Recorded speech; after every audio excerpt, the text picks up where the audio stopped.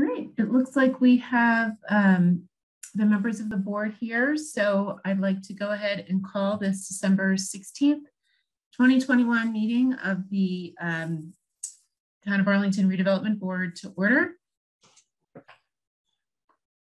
This uh, open meeting of the Arlington Redevelopment Board is being conducted remotely, consistent with Governor Baker's executive order of March 12th, 2020.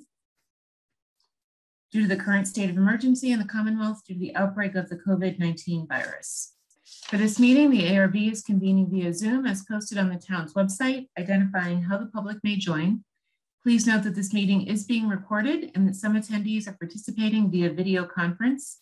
Accordingly, please be aware that other people may be able to see you and take care not to screen share your computer. Anything that you broadcast may be captured by the recording. So allow me to confirm that all members of the redevelopment board are present and can hear me. I'll take a roll call starting with Ken Lau. Uh, present. Gene Benson. Present. Melisa Tintocalis. Present. Uh, Steve Revilak.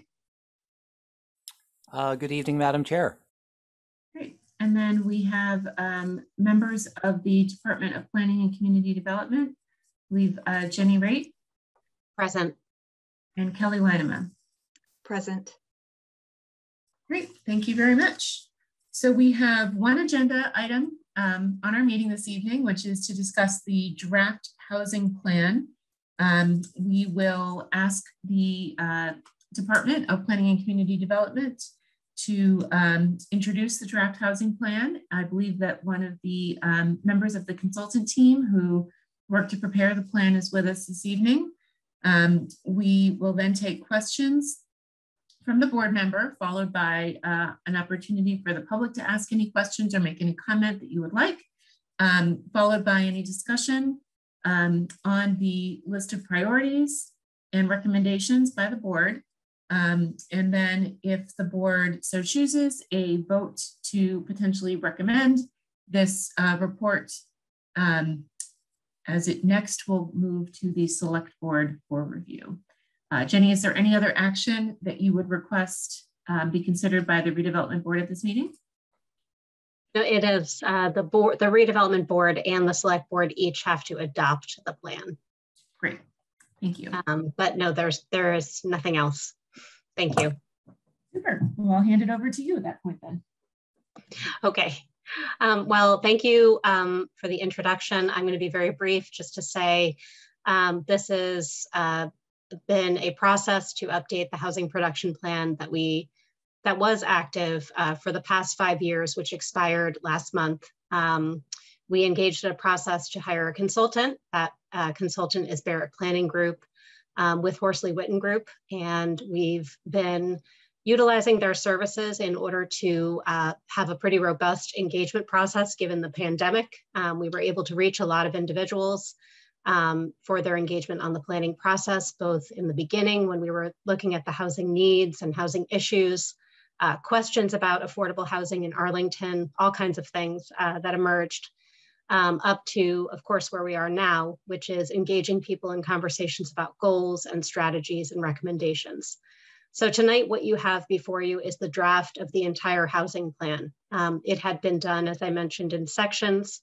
There was an earlier iteration of it, of a section of the plan um, that had been discussed. The Housing Plan Implementation Committee has been working with the department on this process.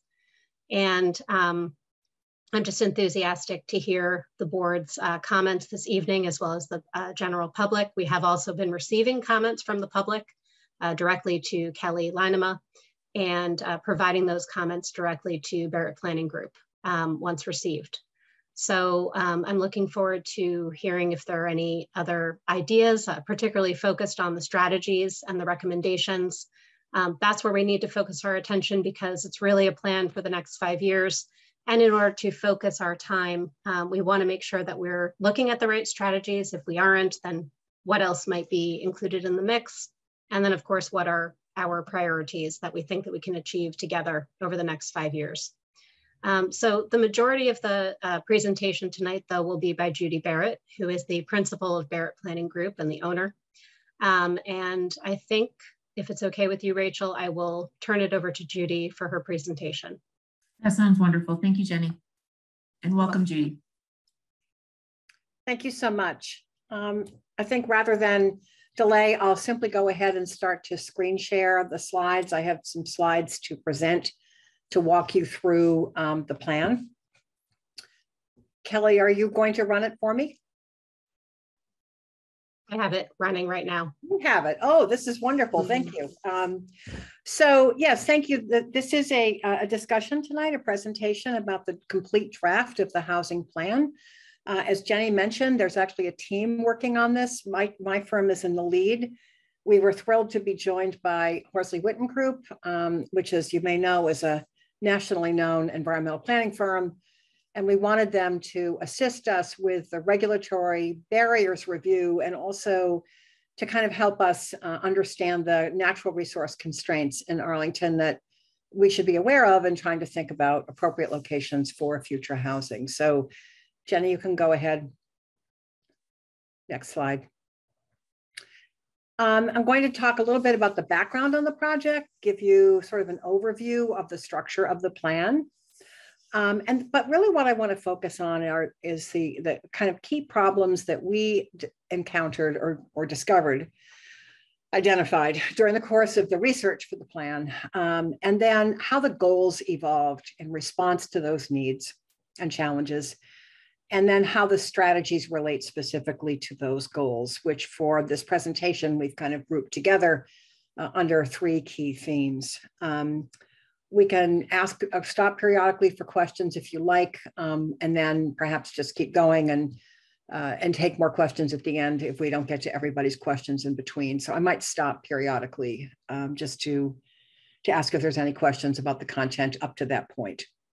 And then of course, yes. If I could actually request, I think if you could um, actually run through the presentation. Um, sure. I think some of the board members have already sent um, uh, Erin uh, several questions. So she's been compiling them and we'll, we'll um, throw them your way at the conclusion of your presentation. Oh, that, that's perfectly fine. I'm actually, that's better for me. I was just Wonderful. trying to be accommodating. That's fine. So thank you so much. The, forget the intermittent Q&A periods. Um, and then we'll talk a bit about what the next steps are with the process. So next slide, please. So the background is we started working on this several months ago. Um, this is an update to an existing plan, as I think you all know you can go ahead and go to the next slide and I'll just keep going through this. Um, a housing plan like this one, which is really designed to address uh, regulations of the State Department of Housing and Community Development, it has three key parts. And the heart of every housing plan is the needs assessment.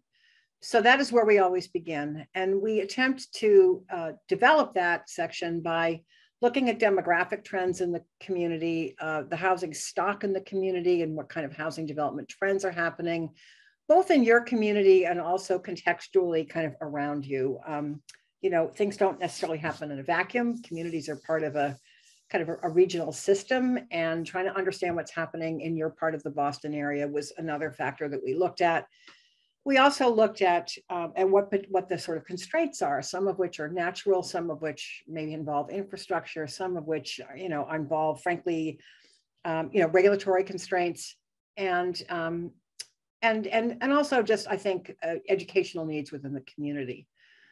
From all of that, we developed a set of housing goals, which really from DHCD's regulatory perspective is two things. One is what kind of housing do you want to see in your community as you continue to evolve? And the second part of it is, and so what are your production goals as you continue to work toward the 10% minimum under Chapter 40B? The implementation strategies uh, involve zoning, potential zoning changes, potential sites for affordable housing, which may be town owned or privately owned. What kind of development, again, you want to see, which relates back to the goals. and then whether there are any kind of regional partnerships that might make sense for a community like yours um, again, recognizing that uh, what happens really in the Boston area is a, a regional issue uh, as much as a local one. And so every community kind of needs to look at both perhaps how regional partnerships might help it and what it also can do to contribute to, you know, its sort of own contribution to the regional barriers that exist. So it's kind of a two-way street. Next slide, please. So the plan that we um, we were prepared, it was directly in response to what the town asked us to do. Uh, a plan that would qualify for the Department of Housing and Community Development um, regulations for housing production plans. A plan that's realistic in your market area and helps to address the affordable housing needs uh, in your community, uh, as well as for people who would like to choose to live in Arlington and can't because they cannot find affordable housing. Um, is equitable across all income levels and discourages concentrations of affordable housing in any particular area. So that's what the charge was to us. And we took that charge seriously and made every attempt to meet it. Next slide, please. Um, this is a kind of a picture of how the process worked. Um, we had a kickoff meeting.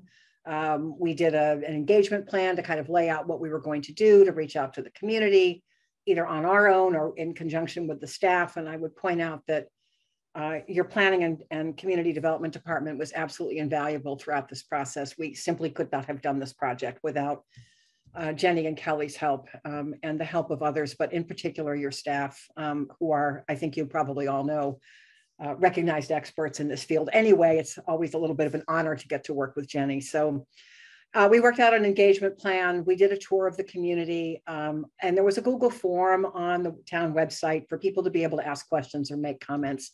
We got a number of, of in, uh, pieces of input from that about housing needs in the community or what people were seeing. Um, we did a couple of rounds of pretty intensive uh, small group interviews. Um, at the end of May, there were like two or two or two and a half days of just constant talking to people, and then another round uh, in the middle of August. Uh, we did a couple of rounds of what's called meeting in a box, which is a way of providing people with a set of questions and some materials to have a meeting on their own with their neighbors or with uh, you know, church groups or, um, you know, faith communities or their schools or whatever. And, and we did that in two rounds at two different points in the process. And, and there was, so there was quite a bit of just, I would say homegrown community input uh, as well. The, the town staff um, worked with the, the farmer's market and did outreach there a couple of times. We also had a mapping exercise that was available. Um, we're so fortunate today to have technology like ArcGIS Pro where we can kind of put a map up and people can interact with it and maybe identify places where they think might be appropriate for, in this case, uh, future affordable housing development. And so that input also was considered. We had three major community forums in June, September, and November, and those were really around kind of the key milestones in the project. The needs assessment, developing goals and thinking about strategies, and then kind of a presentation of of what the strategies would be uh, in the plan that we were going to recommend. the needs assessment um, is comprised of uh, demographic and housing data, as I think I mentioned. We look at market trends. We look at what is the actual affordable housing inventory in the community, as that term is defined by DHCD, and the barriers, of course, to affordable housing and, um, and the goals and strategies. So those are like the key pieces of the plan. And that's just a little bit of a picture about how it was developed um, with community input and through quite a bit of research uh, on, on our part. Next slide, please. So this is going to be an overview of the plan. And uh, I'm going to break this down into types of needs we saw and, um, and what some of the issues were. So next slide, please. Um, I'm a planner, and so I always think about you know, what's what's my task? And we always start these projects with trying to understand what the problem is. Why have we been hired? What is the issue here? And, and once having kind of come to understand what the dimension of, dimensions of the problem are, we try to understand what the causes are and what's contributed to it. What we think the options might be to address it, what solutions might be most effective, what kind of resources will a community need to, to, to pursue those solutions, what's in the way and what can be done to overcome those barriers. So those are kind of like any planning project. I don't care what it is. It's sort of like this is the structure of it. This is what you do. Next slide, please. Um, the, the way the plan came together, we kind of determined through the needs assessment that there were sort of three overarching category, two, three overarching issues. And those are the shortage of affordable homes in the community, uh, impediments to housing choice, and limited capacity in the community for affordable housing. Um, and I'll talk more about what that means when I get to that section of the presentation. But shortage of housing, housing choice and equity, and then the capacity of the community and of the town's leadership to, uh, to direct uh, an agenda to create uh, more affordable housing and preserve the housing it has. Goals of the plan um, are in response to those problems and the strategies, as I said, are completely tied to the goals that we addressed. Of course, they're also aligned with DHCD's review criteria because going back to my earlier slide, we were asked to prepare a plan that would meet DHCD's requirements for approval um, and that would be within your capacity to implement um, with the right leadership in place or with the training for leadership that would be needed to, uh, to do what needs to be done. So that's kind of the organization here. Next slide. So looking first at the shortage of affordable homes, um, these are kind of just findings that we uh, we concluded from working on the needs assessment. There's a significant shortage of safe and decent and affordable homes, especially for extremely low and very low income renters. So we're talking about people with, with, with very low incomes. And as you'll you know, probably hear a little bit later in this presentation, uh, there's really very few choices for them um, in Arlington, and in some cases, really no choices. Arlington has few or no viable options for first-time homebuyers to find a home they can afford to buy. And you know, we we kind of we concluded that just by looking at kind of what's happening with sale prices in the community and what's happening with the housing values in the town. What are homes um, selling for, and what can first-time homebuyers really tackle? There are many older adult households in Arlington that are housing cost burdened. And by that, I mean folks who are paying more than 30% of their monthly income for the cost of housing um, that they have. And a housing cost burden is a serious issue because when people have to make choices between their mortgage payment or their rent and food and other things that matter in life, um, it just creates a, a, a, continuum of instability in people's lives the other thing we found was that the town doesn't have the regulatory or financial tools it needs to reverse those conditions under current circumstances. Next slide, please. So it's probably worth just taking a look at what, at what we're actually talking about when we talk about affordability, because this is one of the things that I think uh, we encountered some misunderstanding about along the way. So to a housing policy analyst, affordability is around these income tiers that are established by HUD, the US Department of Housing and Urban Development, and which DHCD adopts and, and uses as part of the Chapter 40B program. Um, and so just to give these terms some meaning, they're all tied to this concept of area median income. It is based on an area excuse me, not the individual community, because um, housing, housing barriers are a regional problem that require regional solutions on the part of every town. So a moderate income household is a household with income at roughly 80% of the median income for the Boston metro area. It's not tied to your median income, it's tied to the region. Low income is 50% or half of that median income and extremely low income is 30% or below. So many people who are extremely low income who are in your community may be living in, for example, public housing or have some other kind of arrangement, perhaps with a Section 8 voucher. So these are just the income limits of households from one to four people. And I just wanted to give you a sense of, you know, a, a low income household, we'll just take the half the median for an example. The For a one person household, that's $47,000 a year and what they can afford, the maximum rent they can afford, including utilities. The maximum monthly housing cost is, is $1,170 a month. The extremely low income person can afford a $720 rent. Again, assuming um, that includes utilities.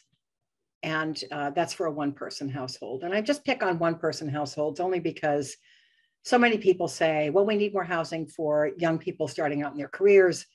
and we don't really have anything for them. And I just want to point out that when you're talking about a one person household, it's not the mythical family of four that may have an income of just over $100,000. We're talking about a very different set of income tiers and housing costs that are affordable. Next slide, please. These are the kinds of jobs in your community that relate to those um, very low and extremely low income limits I showed on the previous slide. Um, these are the average annual wages of people working in Arlington in these kinds of positions. So someone working in a bakery shop, this assumes someone has a full-time job year round. Um, the average uh, annual income for that person is $25,700. Someone in retail, if they have a full-time job, um, 41.1. Grocery store clerk, clerk 31.3. Someone in truck transportation, 46.5. Childcare workers, assuming a full-time job, 43.5. And people working in nursing or residential care, 39.8. So those are jobs in your employment base, and those are the average annual wages for those positions. Next slide, please. These are the prevailing rents in Arlington and the income that's required to afford them. So I'm reporting to you an average, a median, a lower percentile, and a higher percentile. For a one bedroom unit, let's assume a one person household, the average is $1,600 a month. The median is $1,600 a month. I guess the average is closer to 1700 if you want to round it. The low percentile is 1450 and the high is 192. Those don't begin to touch $720 a month for rent. So you have a market that has a some some range of price, although not much. Um, and then you have people who are in income tiers living in your community who are struggling to be there because they can't find housing they can afford. And um, I just wanted to kind of lay that out for you so you can see what the housing affordability picture is in your community and then what the affordable housing gap is. Next slide, please. As a result of those findings, we proposed some housing goals, which of course involve increasing the rental and home ownership housing options um, in Arlington for extremely low, to, up to middle income households.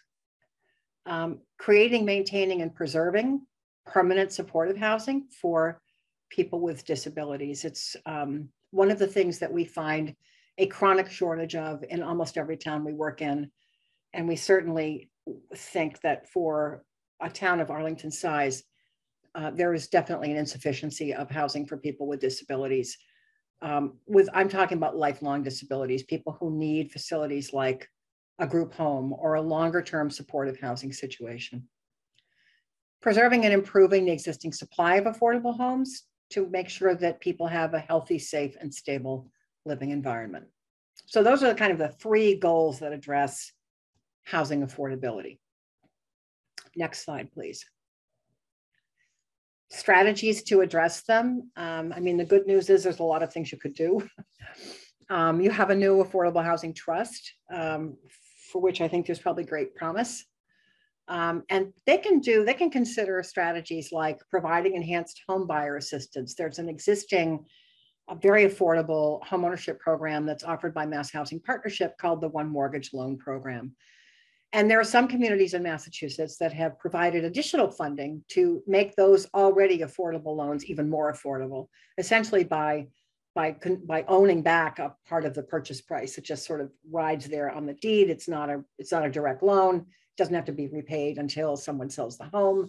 But what it does is it reduces what the owner has to buy, the home buyer has to buy you also can do low interest loans, um, you know, or purchase price write downs. I mean, those are things a housing trust can do. Yes, they're allowed by statute to do that. And you certainly have the talent on that board to run that kind of program. Um, the housing authority could uh, consider making, doing more with the housing choice voucher program under section eight. Um, there are some communities in Massachusetts that have had a lot of success with that, making housing choice vouchers available to people who are using their housing choice as section eight, but to be able to use that as a step up to home ownership. Capital grants for the housing authority. Um, I mean, we just think this is a significant issue and I was pleased to see that as part of the town's ARPA plan, uh, there is a there is an intent to make quite a bit of money available. I'm sure it's nowhere near enough, but I mean, it's a good it's a good chunk of money to help with um, housing renovations, rehabilitation, upgrades in housing authority properties. Of course, there are other sources that could be considered, including your Community Preservation Act funds, which of course the housing authority would have to ask for, but that is an option available to them. And there's also the DHCD Preservation and Modernization Program, which is funding, um, finally, some modernization grants for housing authorities that desperately need to upgrade their, their units.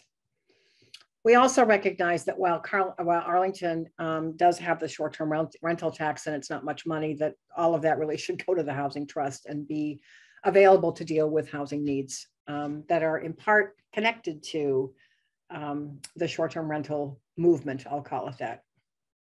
Next slide, please.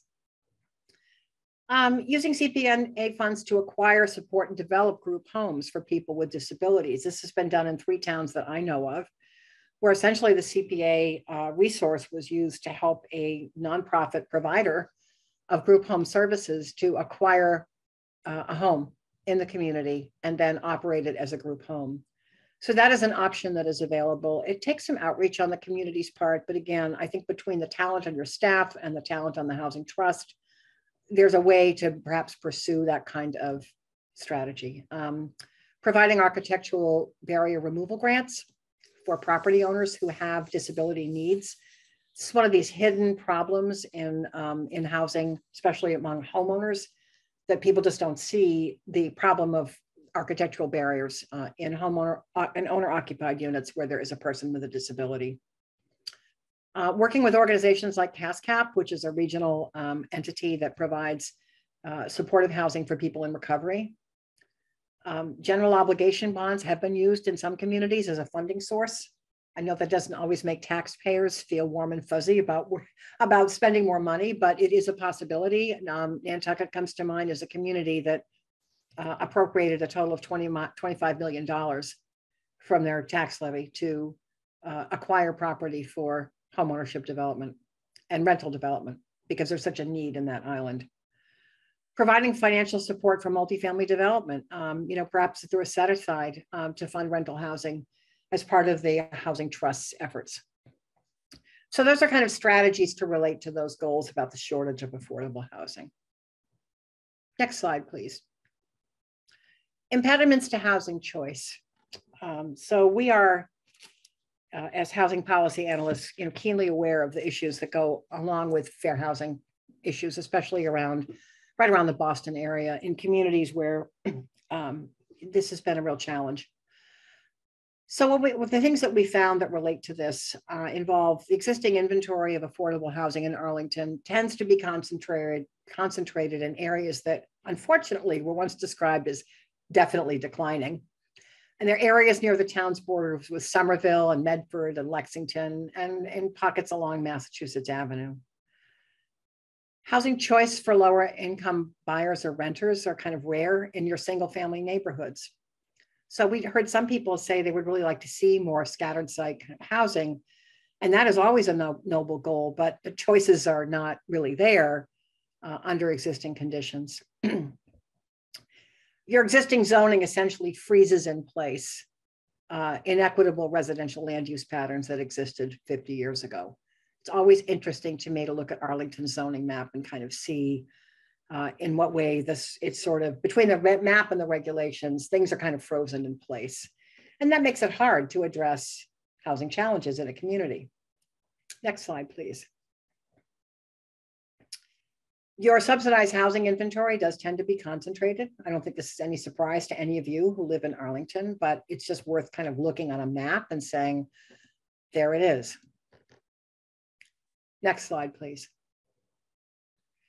Um, impediments to housing choice, we looked at your zoning. And again, I don't think this is going to be any big surprise to any of you, but um, you know, we're kind of looking at these areas where, uh, for example, you have larger lot zoning um, in, in two districts in, in the town, and they are, um, you know, exclusively single family options. There, you do allow two family homes elsewhere in town.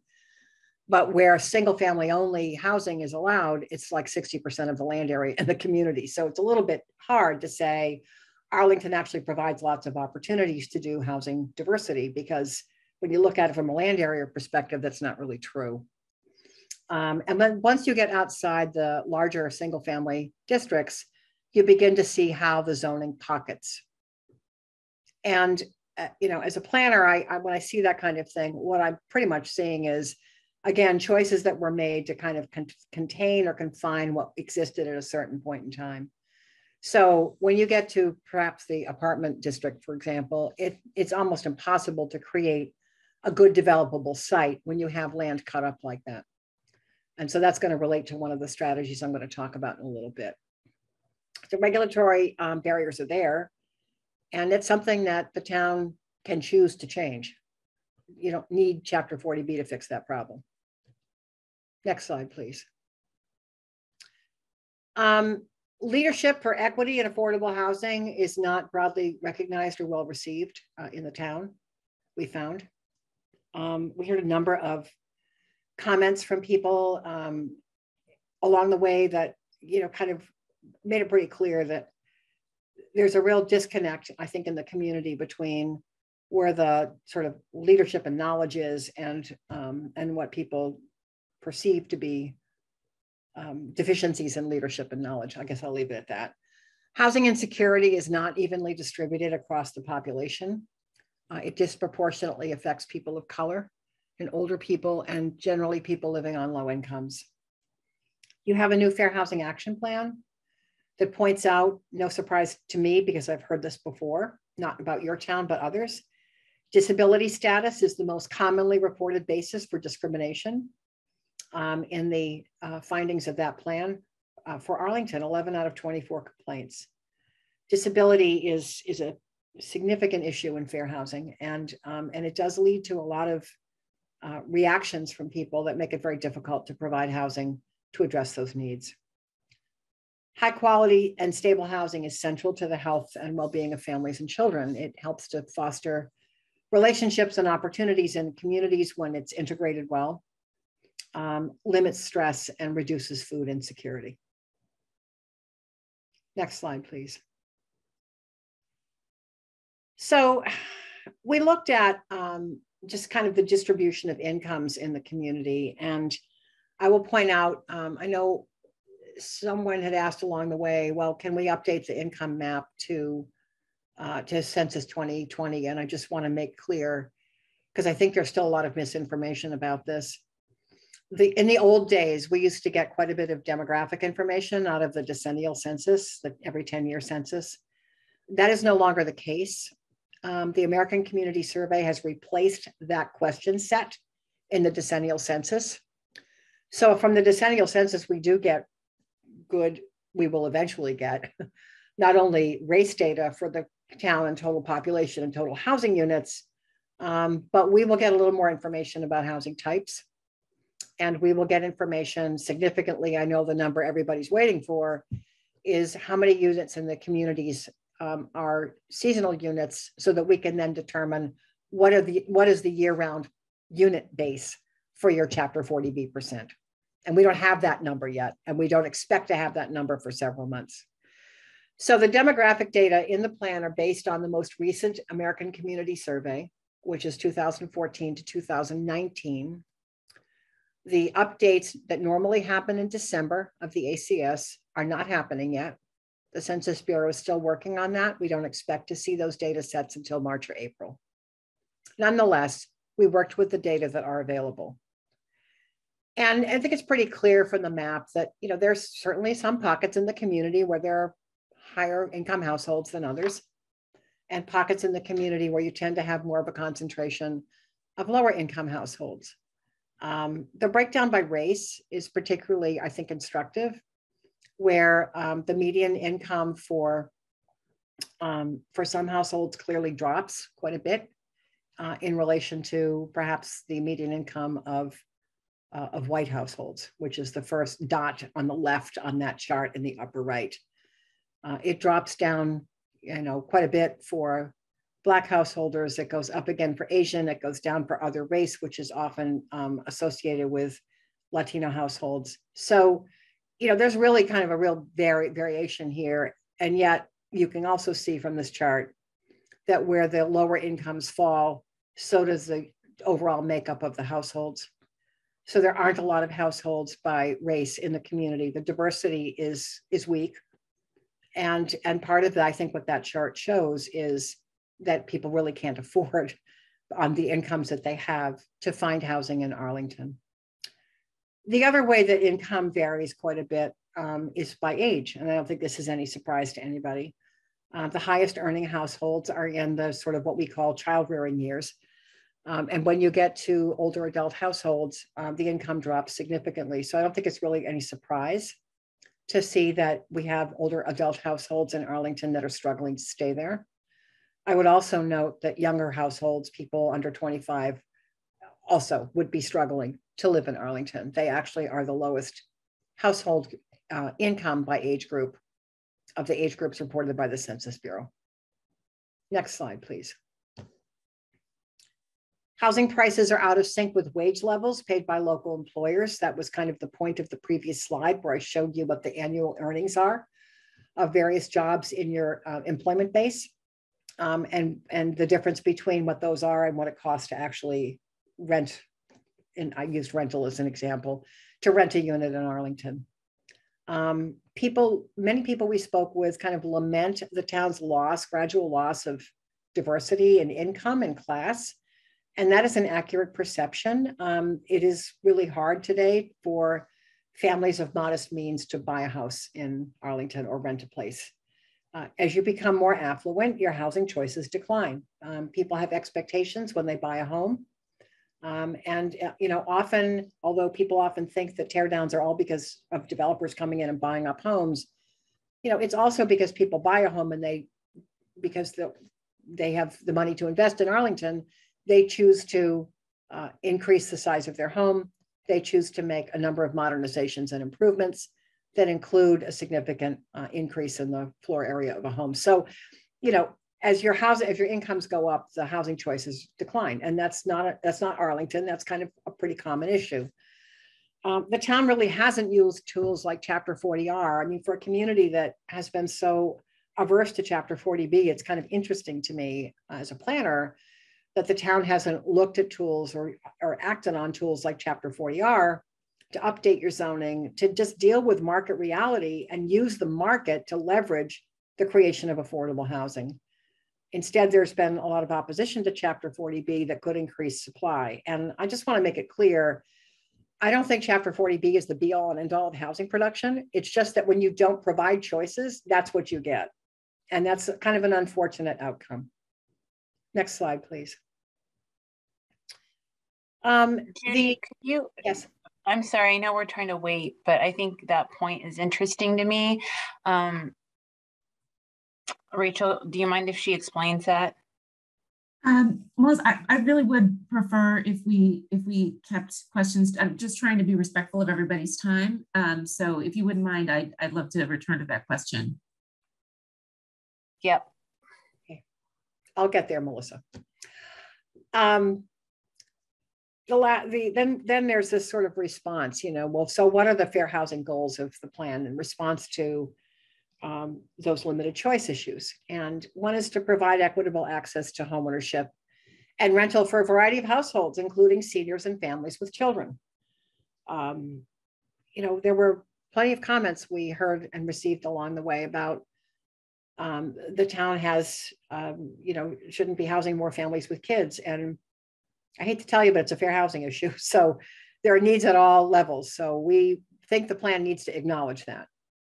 Uh, integrating affordable homes in all neighborhoods through the use of existing structures and redevelopment of underutilized properties, especially within walking distance of schools and parks and services and so forth. Um, Reviewing and update your zoning and other housing policies to encourage development that increases affordable housing and fair housing choice. There are a lot of people who say they know the town doesn't have enough affordable housing and they'd like to see more. But then when you get to, so how are you going to do it? Um, you know, these barriers come up. Improving development opportunities along the major corridors to include a greater mix of housing options. Um, I mean, there's already clearly a pattern there that at one time kind of sought um, you know, a mix of multifamily and commercial space. So that pattern exists. It's a question now of how do you allow that to continue to thrive in our time, which is a different market reality than it was when some of those structures were built. And then assuring that everybody has equ equitable access to green space and a healthy living environment um, as a priority for siting affordable homes. So those are our kind of fair housing, goal statements that we're recommending. Next slide, please. There are strategies that I think you should consider, um, given the things that we heard. And one is to conduct a racial impact study to evaluate whether your current rules disproportionately affect Black people and people of color.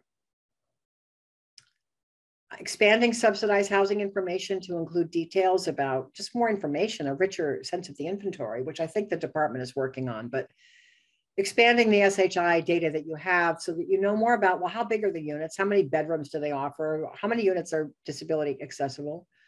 Which ones have age restrictions? Um, so that there's a sense of really who are the populations that are most affected by um, conditions with even within the affordable housing inventory. We have an inventory and a certain number of units, but how responsive is that unit mix to the needs in the community?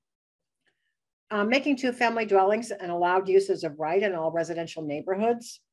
Um, I note that uh, a couple of people said, well, we, we do that now because we've just passed a bylaw that says ADUs can be done in every neighborhood. And I would just point out, as I think you probably know, ADUs and two family homes are not really the same thing, but you've already started down the path of providing more housing diversity. So it seems to me that a good next step would be to think about just allowing two family homes uh, throughout the town, uh, wherever single family homes are allowed.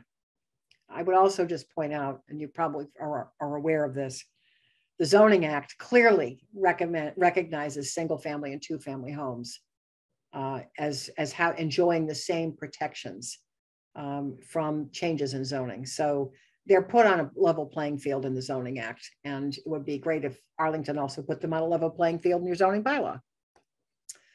Changing the zoning map to consolidate districts and create realistic options for parcel assembly so you can actually get some good multifamily redevelopment um, in places where it kind of makes sense. And then designating areas for missing middle housing kind of interspersed within the commercial centers. And you're probably all familiar with this concept, but missing middle is basically this idea that that somehow between um, single family neighborhoods and 40B, there's nothing. You know, we either have these single family neighborhoods, we have these big developments, and there's nothing in the middle. And the reason we don't have that kind of development pattern anymore, which we often had in our communities close to Boston, um, is that the zoning doesn't allow it. I'm talking about three, four, six unit buildings. Um, just thinking about ways along the commercial centers that perhaps some of that missing middle could be uh, permitted and create some additional housing in those areas, which is of course good for business and also just good for taking advantage of the pedestrian infrastructure that exists there. Next slide, please.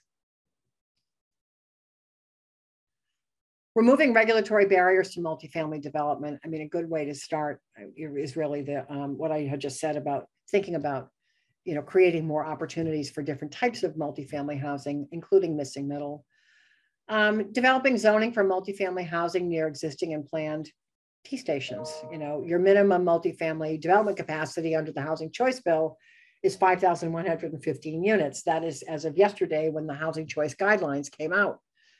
I'm not saying that you should strive for that goal. I'm saying that there is now a goal, and every community that's an MBTA community is going to need to make some decisions, potentially hard decisions, how they're going to address that legislation um, we heard people say, well, we want to get more affordable housing, but but we don't like the fact that developers are, you know, basically doing higher end housing for 75% of their projects and just making 20 or 25% affordable. And you know, I, I, think an obvious answer to that is look at what's happening in Cambridge um, with the 100% affordable housing overlay. And you could think of something similar to that, where sort of designating areas where it makes sense to uh, to allow some uh, higher density development and in nodes around Mass Ave or Broadway. I mean, that is just an obvious solution. Of course, it has to make real, it has to make uh, economic sense, which I think Cambridge's does. And they've had a couple of projects done. And I know the Cambridge Housing Authority is looking at doing some as well. So, you know, that's a tool that's available. It's just fine. We'll say you can have uh, an expedited permitting process and, uh, you know, and not something that gets prolonged uh, if you are doing a subsidized development and it's 100% affordable. Boom, here's your opportunity to do that. That's a regulatory strategy. Partnering with nonprofit, faith-based and for-profit developers to site eligible developments in 100% overlay districts. I mean, there are developers you could work with that are doing that, um, but you gotta reach out to them and you gotta let them know you're serious establishing a reserve account for the housing trust to acquire existing single family homes and redevelop them as two family dwellings with an affordable unit. Um, I mean, that's certainly something that that could be considered. Uh, or making making those kinds of funds available perhaps to the Housing Corporation of Arlington um, to continue doing those kinds of activities. Next slide, please. Preserving your existing parks and conservation land throughout the town especially in areas where you have existing concentrations of lower income or minority households, and ensuring long-term access to, to recreation facilities. You know, we all made kind of a, a just a basic firm conclusion on this plan that we were not going to advocate making conservation and open space, designated open spaces candidates for affordable housing development, that that just didn't make sense. It was wrong. So but there are concerns about making sure everybody has access to the green space that exists. And so, you know, thinking about if when you can't really do that because the sites are small or because there's just no economic way to accommodate it, how do you make sure that people have equitable access to nearby open space through better sidewalks or, or bike paths or trails to the nearest park or open space? Um, Another thing to look at is, is auditing your current parking requirements and parking design standards. I think this is not a new issue in Arlington, but uh, we just find everywhere we work that the parking requirements are actually often the hidden reason that becomes a serious impediment to multifamily housing development, even where it's allowed. And then increasing the use of green infrastructure to minimize stormwater runoff and reduce flooding and heat island effect. So these are things that would be important to do for fair housing purposes. Next slide, please. Capacity. Um, the advocacy for affordable housing development is fragmented and not well organized. I think this became pretty obvious to us uh, early on and it stayed that way pretty much through the project. We, we have kind of heard a fair amount of information, misinformation about affordability and development, market conditions, and so forth and and local government's responsibility for affordability and housing justice. I think that there is an uneven understanding about kind of what the what that means and how to execute it. Um, there doesn't appear to be a consistent or generally understood or respected policy framework for increasing the supply of affordable housing. Everybody's got ideas, and many of them are noble and good. Um, I'd say they're probably all noble and good to some extent but then there's this reality of how you're going to do this. And I think that's where it tends to fall apart sometimes. Next slide, please. Increasing capacity to produce housing through leadership development, advocacy, staffing, funding, and relationships with nonprofit and for-profit developers. These are the two recommended goals for building capacity in the town. And the other is building awareness of affordable and fair housing needs within Arlington and the larger region, and Arlington's role in addressing the broader inequities that I think we're all aware of in the Boston area. So those are sort of the two goals that get at capacity. Next slide, please. Strategies to implement those goals involve building relationships with and, and encouraging more nonprofit housing organizations and CDCs to build in Arlington. Uh, it's certainly not to displace the Arlington, the Housing Corporation of Arlington, um, because they do a wonderful job. It's about having more capacity in the community to do what needs to be done. Um, considering looking at the at whether there's a value in establishing a community land trust, which I, can talk about more if you want me to a little bit later. But a land trust, the concept with a land trust is there's an entity that owns the land and develops the housing and retains ownership of the land. So as housing sells or re-rents, the land is taken out of the economic equation. And I've worked in, you know, pretty much in different states around the country. And I can tell you, although in Massachusetts, the land trust model has not been particularly well used, it is, it is widely used in other parts of the United States. And so I think this is a conversation that Massachusetts communities need to have where the land is such a driving factor in what's happening with the housing market uh, because land is so scarce. How do you perhaps take land out of the equation? And a land trust is a kind of classic answer to that. Uh, a good, a good model for a land trust, by the way, is the one that works on Martha's Vineyard. You can work with CEDAC and LISC, two organizations. Um, that's Community Economic Development Corporation, Assistance Corporation, and Local Initiative Support Corporation. They're both groups that work with nonprofits to uh, on financing, on technical assistance, and so forth for affordable housing. Those are resources available to your town to find the right nonprofit partners to, to, to work with.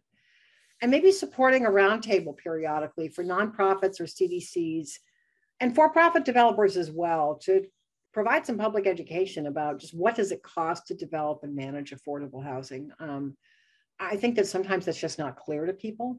And why would it be? If it's not their field, they wouldn't necessarily know.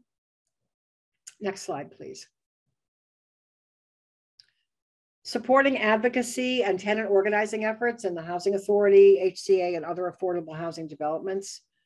Uh, we're aware from the research that we did and the conversations we have that had that there are you know tenants really kind of struggling to be heard and to have their needs met and so tenant organizing uh, is a good good tool to make sure that they have the um, agency in the decision making process to to affect change that affects where they live.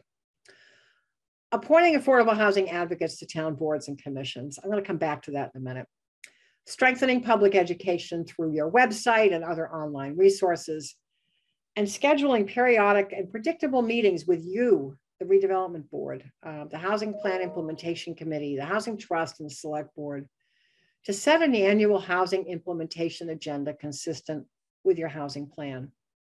People need to get together and get on the same page. And I would say, now going back to this question about housing advocates on boards and commissions, I have never worked in a town where a select board put people on a conservation commission who opposed wetlands protection or didn't care about conservation land or open space. I've never worked in a town that put volunteers on a historical commission that didn't care deeply about the preservation of historic structures. I have worked in towns where people are appointed to an affordable housing committee because they oppose affordable housing. And I think if you want to um, to build a knowledgeable and persuasive conversation as a community about housing needs, housing responsibility of local government, fair housing, and racial justice, you need to be thinking carefully about how you populate your housing committees and how you make serving on a housing committee as important and competitive as serving on high, uh, you know, highly visible committees, high prestige committees like yours, like the select board, like a finance committee. Um, people want to be in those roles because they know that they can get something done or they believe they can. They hope they can. You need that, you need to make sure that there are voices throughout that process that understand affordable housing. It's the only way you're going to be able to lead this conversation in a unified way as a unit of local government. Next slide, please. Encouraging people to speak at public hearings and town meeting about the need for affordable housing. Um, strengthening your education efforts. That little image you see there is, is from a program the town of Arlington has done uh, where they're basically taking positions that are in their employment base, as I did an earlier slide here, and saying, here's what I make, here's what I can afford. And guess what? Only like 25% of the people in my income group could actually afford to live here. And, um, and so we just helped our act and update some of those uh, handouts. They're really just like one page sort of descriptions of here's a need and here's what these people can afford. And they're in your community and they're serving you at your restaurants and they can't live here. So just helping people make the connection that real life people have these needs and strip away all the arguments about what developers are making, what their profit is. That's that, that's an easy thing for people to latch onto. The harder thing for people to get is that there are people in your community who are in the workforce who are making very low wages and can't afford to choose to live in the community where they work. And then engaging town officials to confront and address, you know, just disinformation. I mean, just stuff that it really, it's sometimes, sometimes kind of surprising to hear some of the things that that you, you know are just wrong. So I think those kinds of things would be important. So those are the strategies to address capacity that we talk about in the plan. Next slide. Following this evening, um, we are scheduled to do a presentation with the select board in early January. That date has not been confirmed yet. Um, we have a target date to submit to DHCD in early February. Next slide, please. I guess that gets us, Rachel, to where you wanted to get to, which is the opportunity to for people to ask questions, which I'll do my best to respond to. Great. Thank you so much, Judy. Do you want me to keep this down? I'm sorry, I didn't mean to interrupt. Um, you want me to leave this up or why don't you leave it? it up because we may want to refer okay. back to it. And I think it's easier just, you know, rather than switching back and forth between to, to leave it up. Okay. Um, Great. So Judy, I'd love to thank you and um, the team at the Department of Planning and Community Development, as well as everyone on the, um, the uh, Housing Production Plan um, Task Force who, who worked so hard to put together this information and to um, so comprehensively engage the community in, in the discussion points um, during, the, during the process. Um, I think I'd first like to ask Kelly um, to uh, to see if she could identify any of the questions that were submitted by um, any members of the redevelopment board. I know that you were looking for any any themes or any any other questions that we might want to um, push towards Judy as we start off the the Q and A portion. Uh, sure. So I didn't receive a lot of specific questions, but I do think, um, you know, we did have a question about um, about our inclusionary zoning bylaw and whether um, maybe perhaps how that could be addressed in this plan. Uh, that it, was noted that it wasn't seen in the plan. Um, so I think that was one question, and I, I can just ask these one at a time if you want. That sounds great. Why don't we start with that one, Judy? So we didn't address that specifically because we were talking about other zoning techniques, uh, which includes, of course, affordable housing production. When you're talking about Chapter 40R and a 100% overlay district, just as examples, you're talking about affordable housing um, in a uh, in a in a regulatory scheme that there's there's proof that it works. Um, and it allows enough kind of development to happen that you can get affordability. So, I to me that was those were the more important uh, things to to speak to. It wasn't to to not address the inclusionary zoning bylaw. It was to actually try to talk about things that would work in our experience. Thank you. Um, we also had a question about um, trying to get at this idea of missing middle housing. Um, you know, ways of if you could maybe provide, I know you talked a little bit about it um, mm-hmm. with the recommendation about two um, two family homes, but if you could maybe elaborate on missing middle housing a little bit more and yeah. what that does in terms of affordability. So unless you are able to do a 100% subsidized development, um, I, I hate to say this because I know people don't want to hear it, but you kind of have to use the market market to leverage affordability. And in order to do that, you have to kind of have enough units to be able to offset the affordable units. So, um, you know, being able to think about four, six, eight unit buildings, um, either in the adjacent to the commercial areas or even along some of like the major corridor roads through the single family neighborhoods. You wouldn't necessarily go into the internal parts of those neighborhoods, but along major corridors, just be able to allow more of a housing mix in which you might be able to get an affordable unit here and there. These are not going to be big projects. They're not going to yield a ton of affordability unless they're 100% subsidized. But it's a way to do two things. First, to get a little bit of affordability into, into neighborhoods where there really isn't any, uh, at least under the current regulatory scheme. But second, to just create more choice. Not everybody wants to live in a single family home with a yard. So being able to provide choice and, and frankly make it possible for a piece of land that has a very high value to have that value spread over multiple units instead of one is a way to think about um, you know making it just more a, a more of a, a market kind of approach to creating some modest affordability.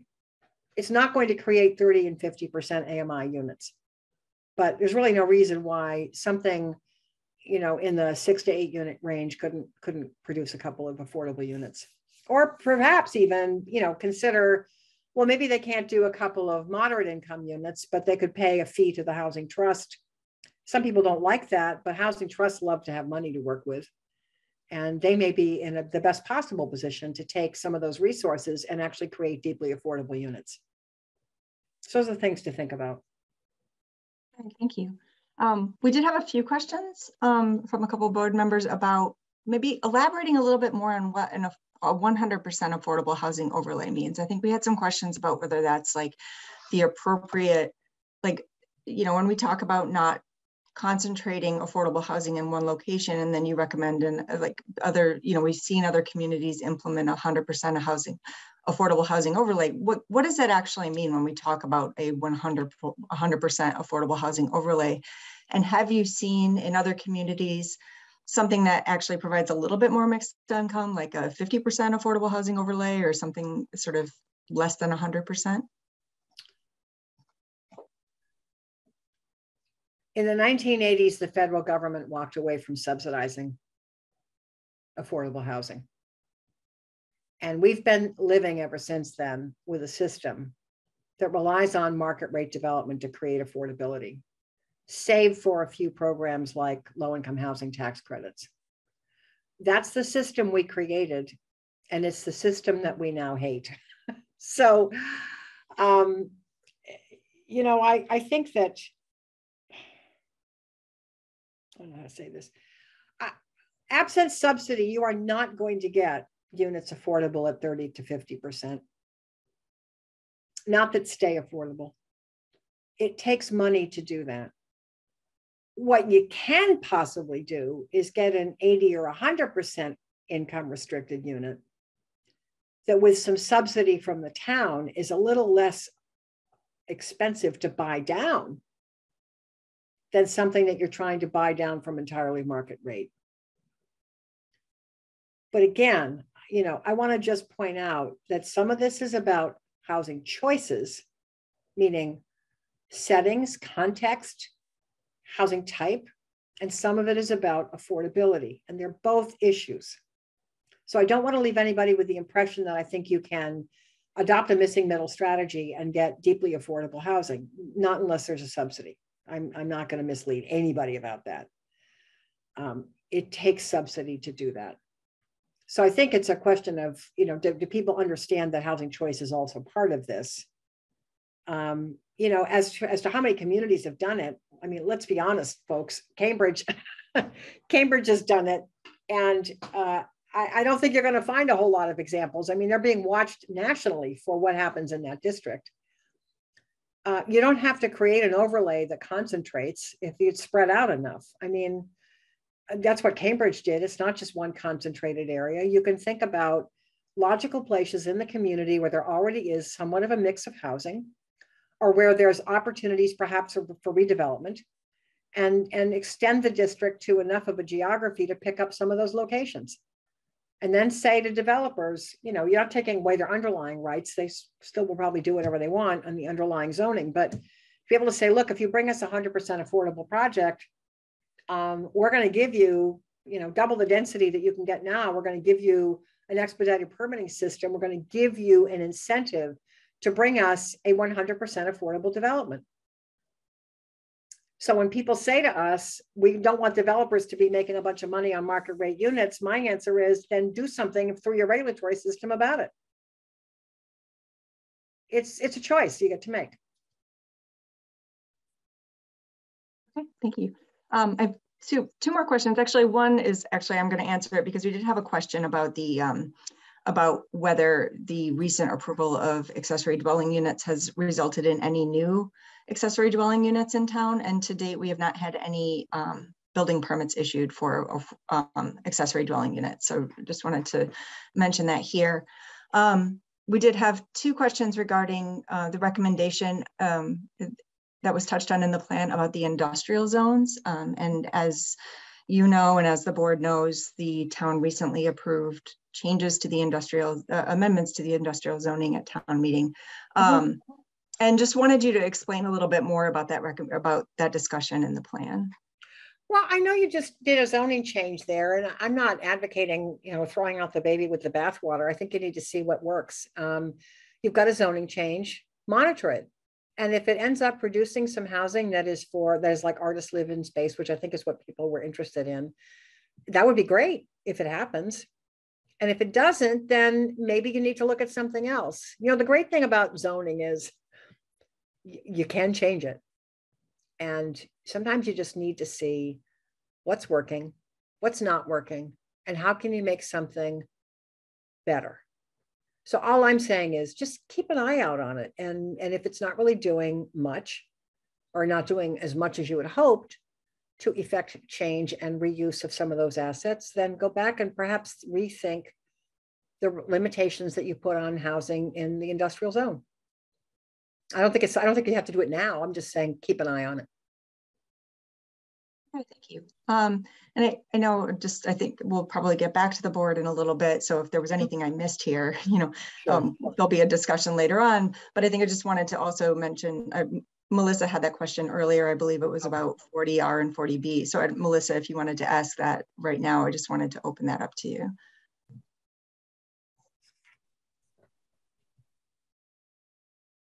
Um, yeah, I'm trying to remember what I I thought it was an interesting point, Judy, and I just wanted to kind of pick up on your curiosity about it and understand your thinking behind it. And if you could explain um, to people who are listening the difference for 40R and 40B.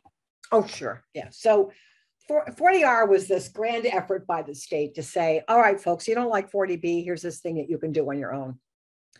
So it is a type of zoning that a town can adopt um, it is an overlay district, so you're not disturbing the existing zoning. You're laying an additional opportunity over the existing zoning.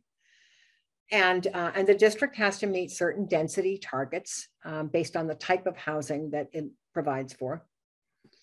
Um, and, and so you can create a district to allow a higher density single family, uh, townhouse, or multifamily units ranging in density limits from 8 to 20 units uh, in an area in your community that's appropriate for higher density development, which, you know, you clearly have some areas that are appropriate for that.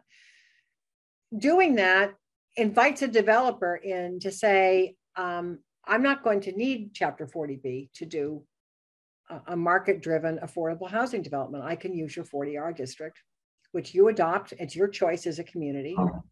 It's an offset, it's an alternative to 40B the units count on the subsidizing uh, subsidized housing inventory in exactly the same way as, as if it were a chapter 40b development. Um, and it just gives you another opportunity to perhaps you, to use your own regulations to do what you say you don't want chapter 40b you don't want chapter 40b i'm, I'm here to tell you you don't need it. If you make choices as a town to do something realistic about affordable housing then you don't need 40b and 40R is an example of something that was offered by the legislature to towns as a carrot to say, fine, try this instead. Um, and you know, it's been, it's been a mixed mixed um, outcome, Melisa. I think Some of our chapter 40R developments have produced housing and done a decent job. And others kind of hit because of when the legislation passed. There was a lot of activity to create 40R districts and then the recession hit. So we had some projects that never actually went forward, even though the developers had every intention of doing them. And then some that picked up later and are really now just, you know, under construction. But the zoning is there. It's an it's a by right system. So if you have a multifamily 40R district that allows 20 units an acre um, as a right, the developer's going to the ARB for site plan approval, and it's an as a right system, so there's no special permit. Mm -hmm. um, and it's kind of harder to file an appeal uh, from someone who doesn't like the approval. So that's what it is. Thanks, Judy. Um, and then maybe, I don't know if Jenny could help me. So has there been an initiative in town over the years to, you know, identify an area for 40R? Because I, I feel like that has a lot of potential as well. So I'm just curious if there's been stuff like that. I didn't pick up on one. I don't know if Jenny might be aware of it. We, we had investigated it over many years. Um, prior staff, current staff, uh, during the last housing production plan process as well um, and had identified maybe some possibilities, but didn't pursue it anything any further. It's in the current housing production plan. Thank you. Thanks, both of you. You're welcome. Nice to see you again. Uh, Rachel, that's it. That's it from me. And um, sorry, go ahead. No, I was just going to ask if you had any other questions before I um, ask the board for, for any questions that were not um, submitted prior to the meeting. No, that's it. Thank you. Great, thank you. So Melisa, um, I'll go back to you since I know you just um, posed a few questions. Did you have any other additional questions for Judy or um, Kelly and uh, Jenny related to the, the presentation tonight? Um, no, good, great job. Thank you, Judy. I think um, one thing that just comes to mind because, you know, from a planning perspective, you know, it's easy to focus um, in the silo or the containment of what is Arlington and those boundaries.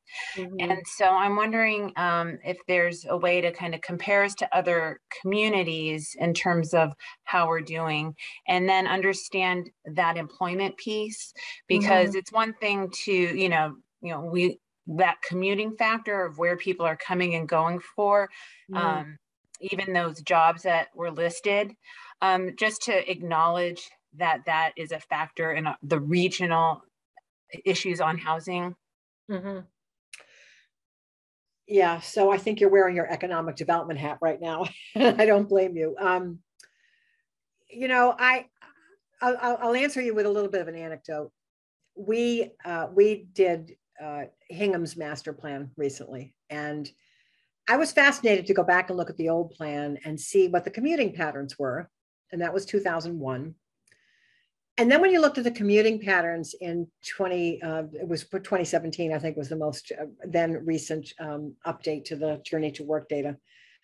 Lots of people are coming into hingham to work every day way more than 20 years ago not only that but the geography of the of the area that is drawing employees to this community my office is here um, is much wider and and their job base has grown significantly but what we learned from that whole experience when you then looked at the economic base changes was that that Hingham had become this retail mecca on the South Shore.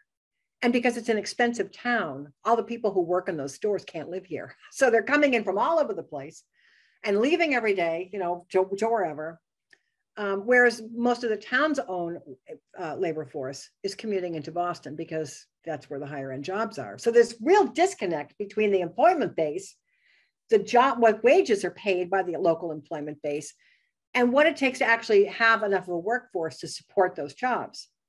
I, I share this because I think people have to understand at some point that when they have, um, you know, issues with traffic congestion, uh, issues with, um, you know, um, why, why they're why people are having to leave the community more to to work. Um, there's a there's an answer to all of this, and it has to do with the cost of housing and the and the abundance of housing.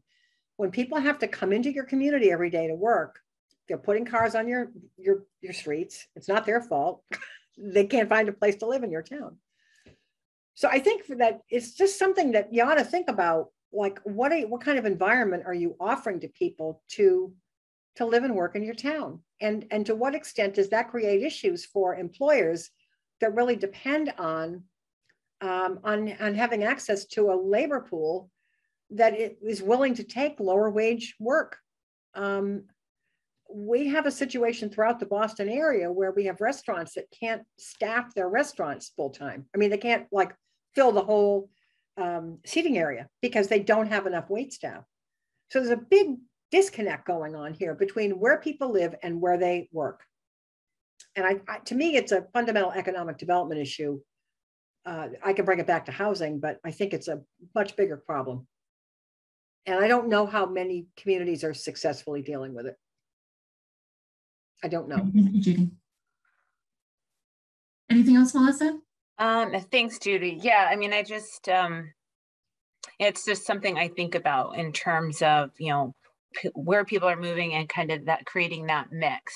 Yep. Um, and for us, you know, I think a lot of the thinking around, you know, sustainability kind of is, you know, dovetails smart growth, mm-hmm. jobs, mm-hmm. um, and access. But I think sometimes that that obviously is not limited to the boundaries of any one community. And so that's kind of why I feel like it's important to at least understand what's neighboring, obviously Cambridge, but mm-hmm. um, you know, how we're doing in comparison with others too, at least to, to some degree, you know, even this effort is um, laudable. So thanks. You're welcome. Thank you. All right, I'll uh, turn it over to Ken for any questions. Yeah, thank you. This is a, a really good report, and some of the findings were uh, really, uh, yeah, um, good reinforcement for us to use. Um, I, I, I want to go back to um, the overlay. Yes. Uh, affordable housing overlay. Yeah. You just, you're, you're just you're simply saying that's choice. Yes. And I, I know there's two. There's, there's basically two factors. There's the public which is the um, you know Arlington Housing uh, Trust or corporation that does affordable housing. They do all affordable, and that's something that's that's a that's a, a public entity that does it, and that's why it's 100% affordable. Mm-hmm. But then there's the private, and I, am a, I'm a strong supporter of that because it doesn't cluster affordable housing in one building or one area. It, mm-hmm. it, it makes it more diverse and and I think that's a much better way to live amongst uh, you know amongst a more diverse uh, mm-hmm. community. Yep. So I'm not exactly sure what you mean by you know adopt affordable housing overlay. That means every single house in that area, every single project over there, you have to make it 100%, or is this that it's a like a higher number that uh, instead of let's say instead of not 25%, you, you make it 30 or 40%, will give you a bonus uh, in density or height or whatever else to mm-hmm. encourage in that area because that's close to what you say earlier, like transportation or to areas that's you know maybe near a park. Mm-hmm. Maybe we don't need to have open space right on that property. Stuff like that that can be traded with the zoning that can actually meaningful mm-hmm. to make it happen. Is that what I'm sort of hearing from you? So, you know, it's a good question. It's a policy choice. I mean, I do agree that certainly mixed income is is a good approach for a whole lot of reasons. It, it's it's a it's something that works in the market. Um, for for social and other reasons, it's a good solution. The reason we brought this up is that we heard from people. We're trying to respond to things we've heard, right? So we heard from people, uh, some people in your community that uh, they didn't they, they they're, they're not thrilled with the idea of developers um, providing a minimal amount of affordable housing and uh, and and then basically using 40B to create luxury housing or very expensive housing. And all I'm trying to say to you is, if you want to address that problem, then you need to think about a, a, a without 40B, there is a regulatory solution that you can consider. Of yes, it does involve a concentration. It does but you end up with 100% affordability. You know, the other reason this tends to come up is that that uh, when a community is relying entirely on Chapter 40B to create its affordable housing, um, even with a rental development where I think you know 100% of the units count, if in fact only 25% are affordable, you've created some choice by creating those market units, but you haven't really built a lot of affordability. So there's this trade-off involved. You know, if you want to get a lot of affordability, you got to really make it work because it's very difficult to do. It is not something a developer throws together overnight. And it has to be something where they know once they put all that investment in to try to get this thing designed and permitted, that they're going to be able to build it. So um, if you're more interested in mixed income approaches um, that also take advantage of the market, Chapter 40R is a, is a good option. That is a mixed income approach. I guess what we're saying is there's a couple of different ways you can go here. You can think about a mixed income approach that gives the developer the, the necessary uh, economic ingredients to make it work. Or you can offer an overlay that's going to give you more affordability. It will give you more housing, but it also might give you more affordability. The trade off is concentration. The upside is you've created a real dent in your affordable housing needs. I'm not going to tell you, I think that any one of these strategies is like the only thing you need to do. I'm telling you that these are options available to you as a community. Thank you. You're welcome. I'm pretty much good now, Rachel. I, I, mean, this is a pretty good report, and I, I really like some of the, suggestions. Great, thank you, Ken. Uh, Jane, I'll um, turn to you next. I know you submitted um, quite a bit of uh, commentary, which was which was great ahead of time. I'm, I'm sure that the department will follow uh, pass that on to to Judy. Um, any any additional questions that you have that haven't been answered yet? Uh, yes, and and thank you. And um, yeah, Judy, I'd like you when you have a, an opportunity to take a look at um, the comments that I submitted. Mm -hmm. um, yes. I have a few things. One, on the industrial zones, I think Kelly sort of created a question out of what I said about the industrial zones in my comments.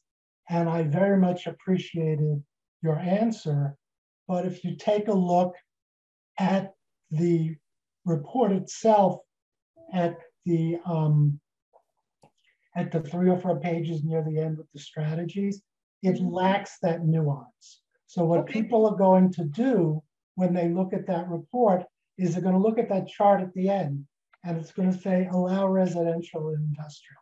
And okay. it doesn't have what I think is the appropriate nuance. So that's one example, but there are many other examples like that in the report where what you've termed as options, and I think that's right, are, are more listed in the report are here are the strategies. And my concern is that we adopt this, this goes in, and they're no longer seen as options. They're seen as things that we need to do. And I think there needs to be some more explanation about that in the report. Um, I did. I was also asking the question about whether, as Kim was asking, whether it has to be 100% over affordable overlay, or as suggested, or there could be a range, and a range potentially allows for mixed income housing. It allows for the higher end to subsidize the lower end. So I think that's another example where some more detail or nuance um, would have been helpful. Um, I also asked the question about inclusionary zoning, and um, I'm disappointed that your answer was, well, we're already doing it, so this is looking at other things. I'd say it still needs to be part of the strategy because one of the things you said in one of the community meetings is you need a big suite of strategies to try to accomplish this. So I'm concerned that that strategy is not here and it doesn't take a look at what I understand is, is one of the nice ways to implement it with density or other bonuses in exchange for a higher level of um, inclusionary zoning. So I'm disappointed that's not there, but since you think it still needs to be part of the package, I think that needs to be put in here somewhere to make it clear that it's still part of the package. Um, my question, and these are all statements. Now here's a question. Um, the two family and one family zones, and I'm not saying that I'm opposed to considering that, but I don't really understand how that gets us at affordable or missing middle housing.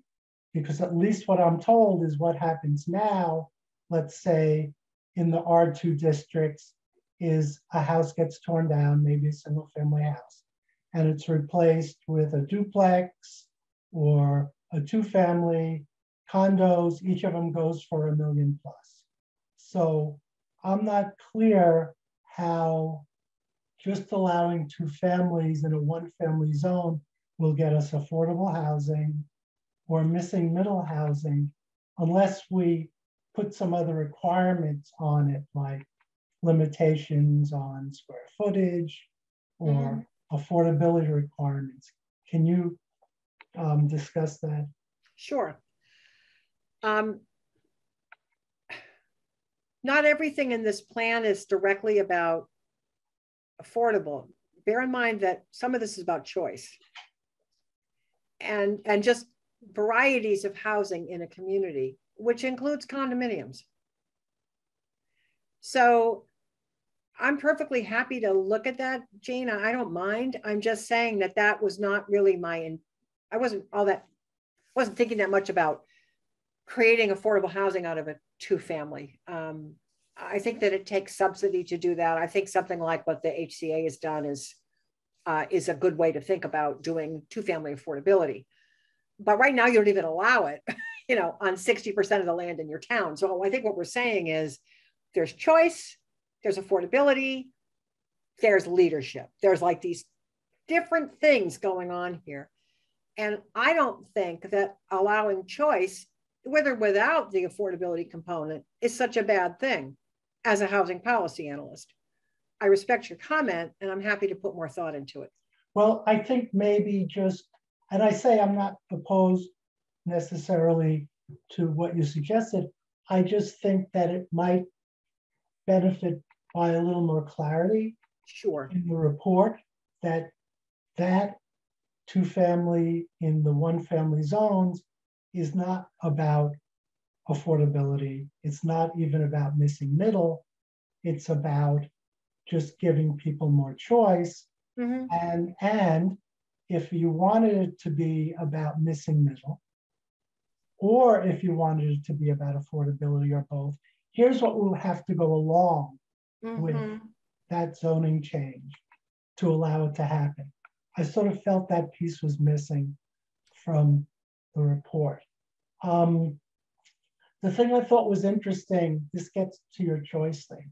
And, and this was, I thought, one of the more interesting little factoids in the report was it was something like um, of the comparable communities, we have the third lowest percentage of single family homes, mm-hmm. something along that, and yep. something like the third highest percentage of two family.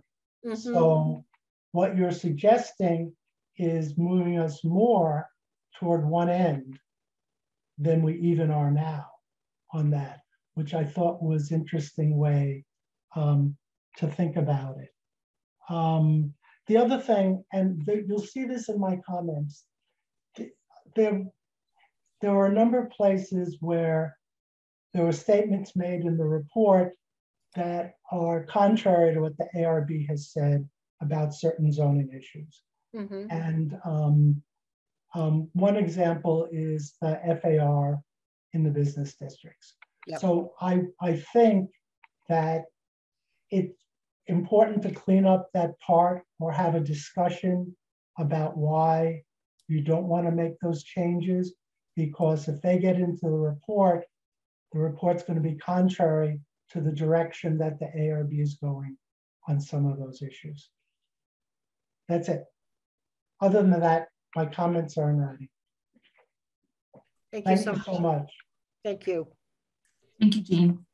Uh, Steve, I will uh, turn it over for you for any questions um, in addition to what you may have already submitted or questions we didn't get to anyone who'd already submitted. We'll see. Okay, there. Sorry about that. Uh, so I have two comments and two kind of short questions. Uh, first comment is, um, you know, the report mentions uh, you know, providing equitable access to green space. Mm-hmm. That's something I never really had considered in the context of housing production, but I think that's a, a very important consideration. And I, you know, would like to um, thank Ms. Barrett for including it. Um, regarding, you know, the mismatch between what people here can afford to pay for housing and, and wages. Mm-hmm. Uh, a few years ago, we had a debt exclusion uh, in order to fund uh, a new high school, and I did a bunch of campaigning and door knocking for this, including, um, you know, in a public housing uh, development across the street from where I live. And I was a little surprised to find that is one of the, you know, one of the residents of that was, you know, she thanked me for, you know, for, you know, for knocking doors, and she said, I'm a teacher in your public schools. Yep. Um, so I, you know, I, that sort of took me a little bit by surprise, but, um, you know, I, I think that it's just, you know, one point to show that yes, there is a mismatch. Um, so on the two questions I had, so uh, someplace in the report, there's a reference, we mentioned that a lot of the affordable housing in Arlington is in uh, formerly definitely declining areas. Um, does that refer to the homeowners loan corporations like C slash yellow districts? Yeah, that's the old HOLC maps. Um, they were, it was definitely declining was the characterization of those areas. Those maps are, mm-hmm. use some pretty dramatic language, but um, you know, it's just interesting to look at those maps, Steve, in comparison to how the zoning lays today. And, you know, it kind of tells an interesting story. That That's all. Well, no, I, I happen to live in one of those. I think I'm uh, C2 in Arlington's map. Um, but you know, one of it's. I, I mean, I, I, think it's worth noting. Expl- I think it's worth actually coming out and saying that you know it is a legacy, or it is a way that the legacy of redlining lives on today in mm-hmm. in uh, in Arlington. Um, you know, and I mean, not that Arlington is unique in this, but you know, no, it's yeah. Mm-hmm. And the last, uh, the last thing um, you mentioned, one of your slides mentioned a racial impact study. Mm-hmm. Could you mm-hmm. tell me a little bit about um, what that stud, what such a study typically does or recommends? So um, there are a couple of tools out there that are in use now. Um, Mass Housing has actually developed one, or I think they're borrowing one from another agency uh, looking at some of their programs, and the city of Boston has adopted one as well. And it's basically a way to look at here's a potential zoning change in our community, or here's a potential thing we're thinking about doing. Um, who is likely to benefit from this, and who is likely to be harmed by it? Who, for whom will this provide the greatest cost versus the greatest benefit? And so when you think about um, you know, the income differentials, for example, between households of different races.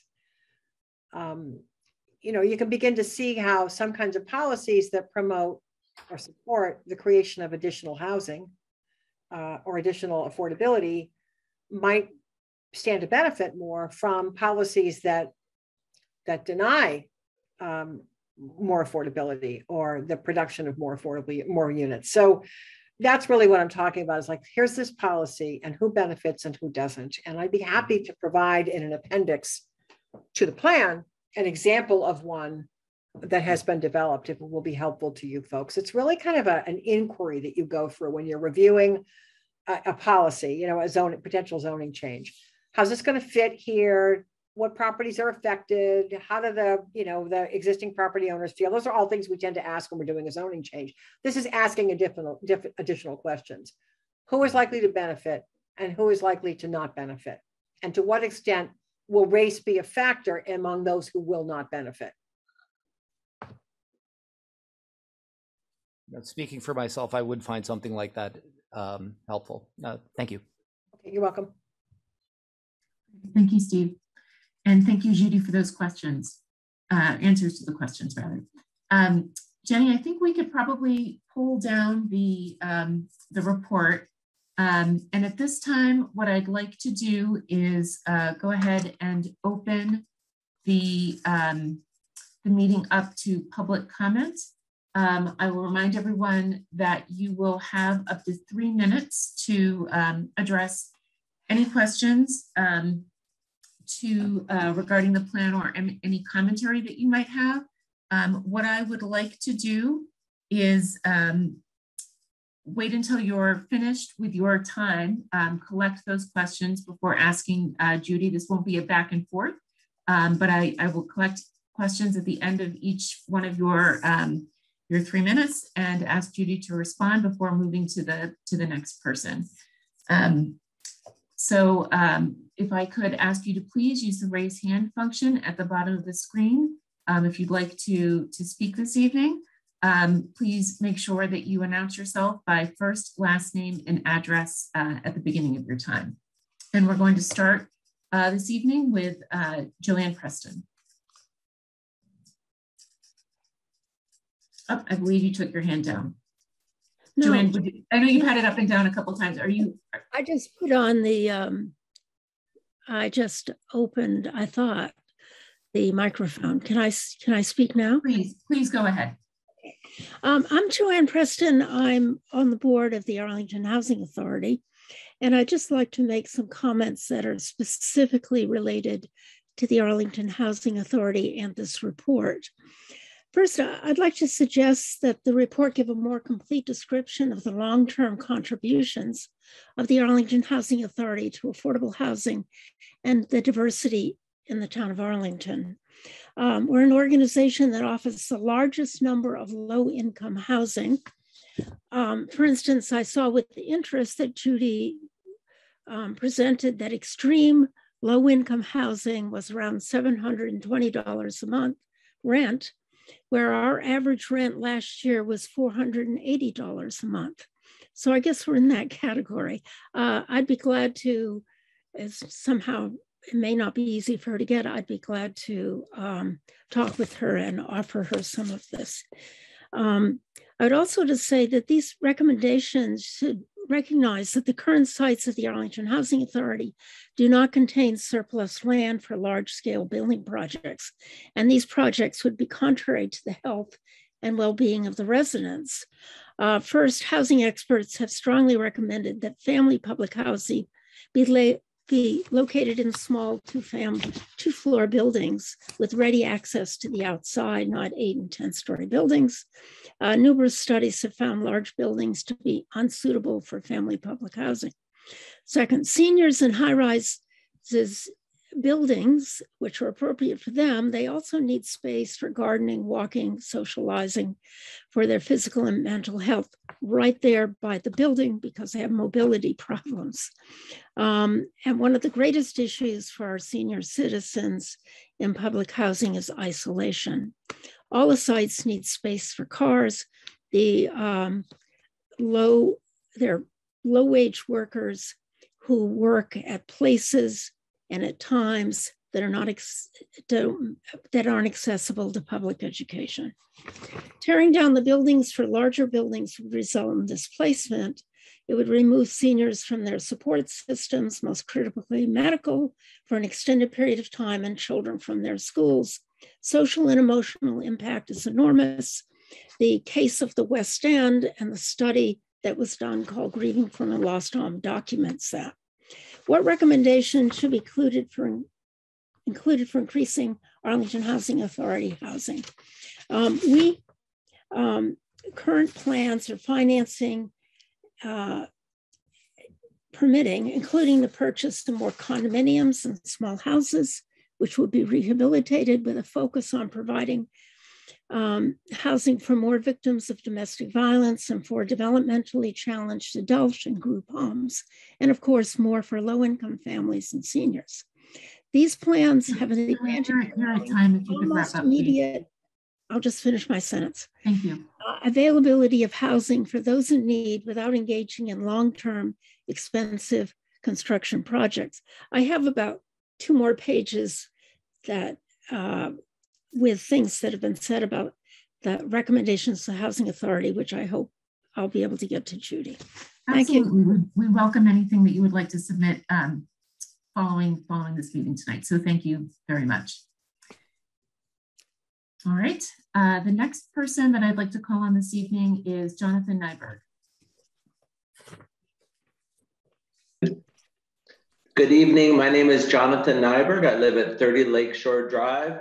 And I just want to say, first of all, thank you, Judy, for doing such an incredible job.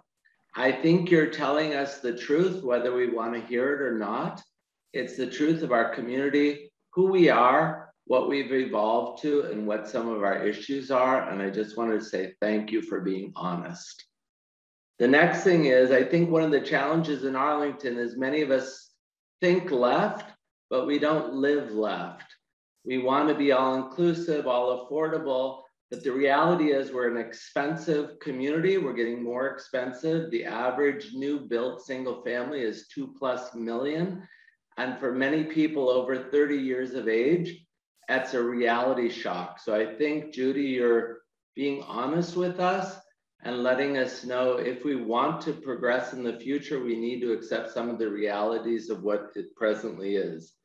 The other thing is, like you said, we have a lot of land. 60% of our town is single family places with a lot of land. But the reality is, we don't want to share our land. In the old days, two families were for rental housing, more or less. Nowadays, it's about condos. If we could knock down a small single family house, build two million to million five uh, condos, that creates housing for two families on what before was maybe a $800,000 single family. So affordability and housing, like you said, Judy, is about choice. It's a huge issue that we need to embrace.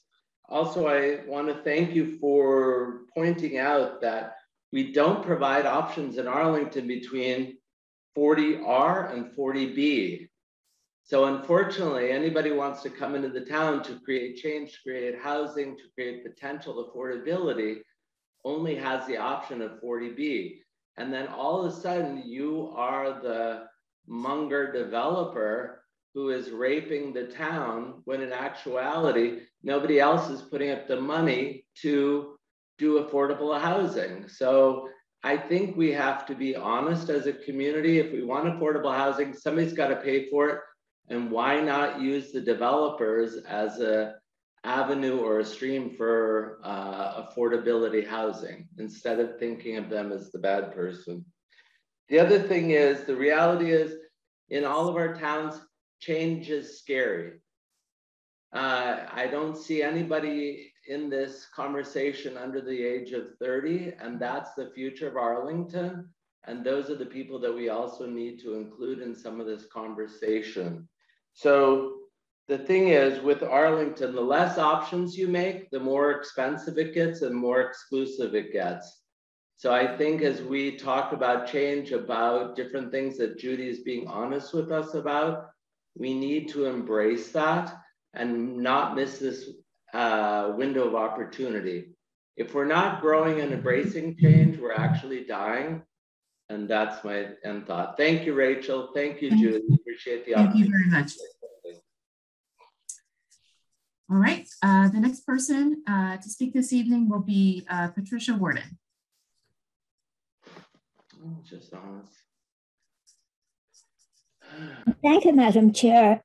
Um, could I ask, please, for the favor of a few extra moments? I am uh, the longest serving um, housing implementation uh, commission member, housing plan implementation I, am going, to, I'm going to keep this to three minutes. Um, with the there, there are many people that are waiting to speak this evening. So if you could keep it to three minutes, I'd appreciate it. Thank you. You're welcome to submit any further comments um, in writing to the both the board and to, to Judy.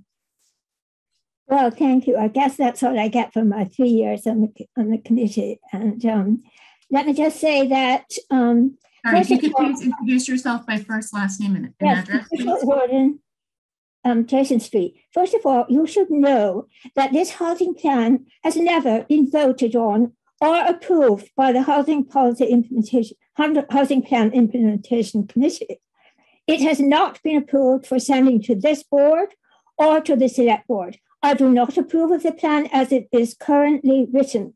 It was my hope that the plan would be a beneficial blueprint for Arlington's housing, especially affordable housing, and the town's diversity, businesses, mm, and healthy environment.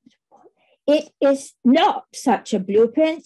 It is the opposite. It is a blueprint to attract developers, perhaps at Mr. Nyberg, who's planning a 40B, to maximize their profits in many ways while providing as few affordable units as possible, and meanwhile subsidizing 40B projects and drastically reducing our diversity. In fact, much of the plan shows the way to provide no housing. Yes, I mean zero housing to those, zero housing help to those who need it most. The plan is an outright attack on our zoning bylaw and our diverse population, seeking to displace many families in favor of higher income residents. As our redevelopment board, you are the guardians of our zoning bylaws. You have the power to improve this plan. Please use it.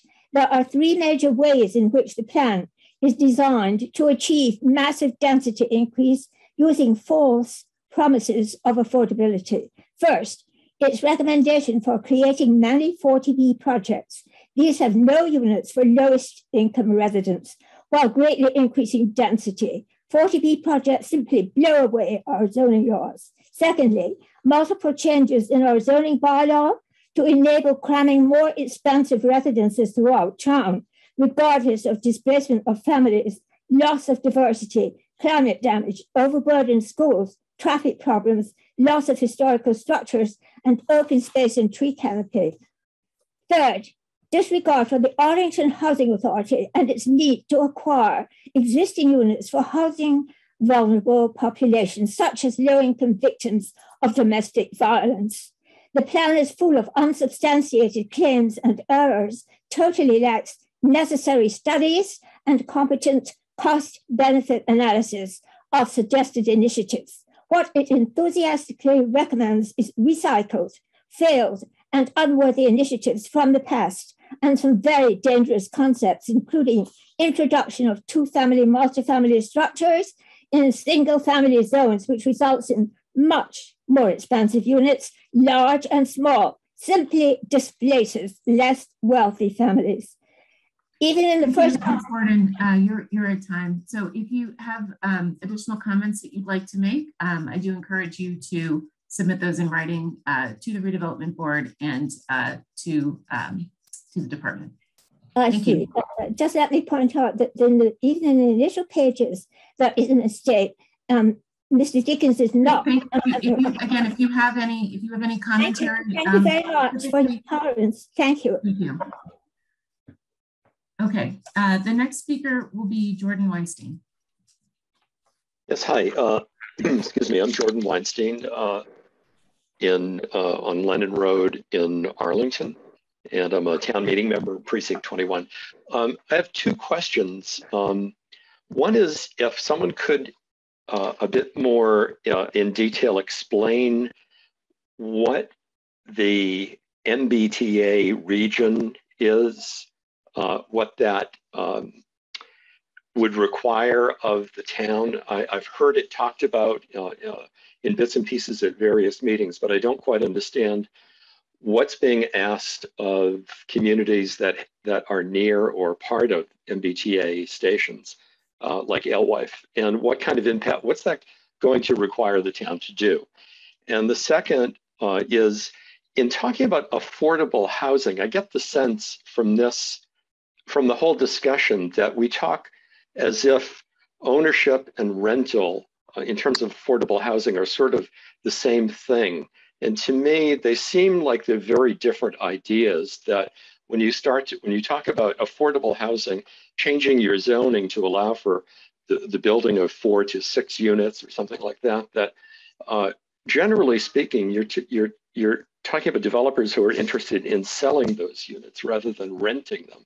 I could be mistaken, but, um, and, and I wonder if, if in talking about affordable housing, if the, should the focus rather be on development of rental property rather than uh, individuals owning their units in terms of affordability.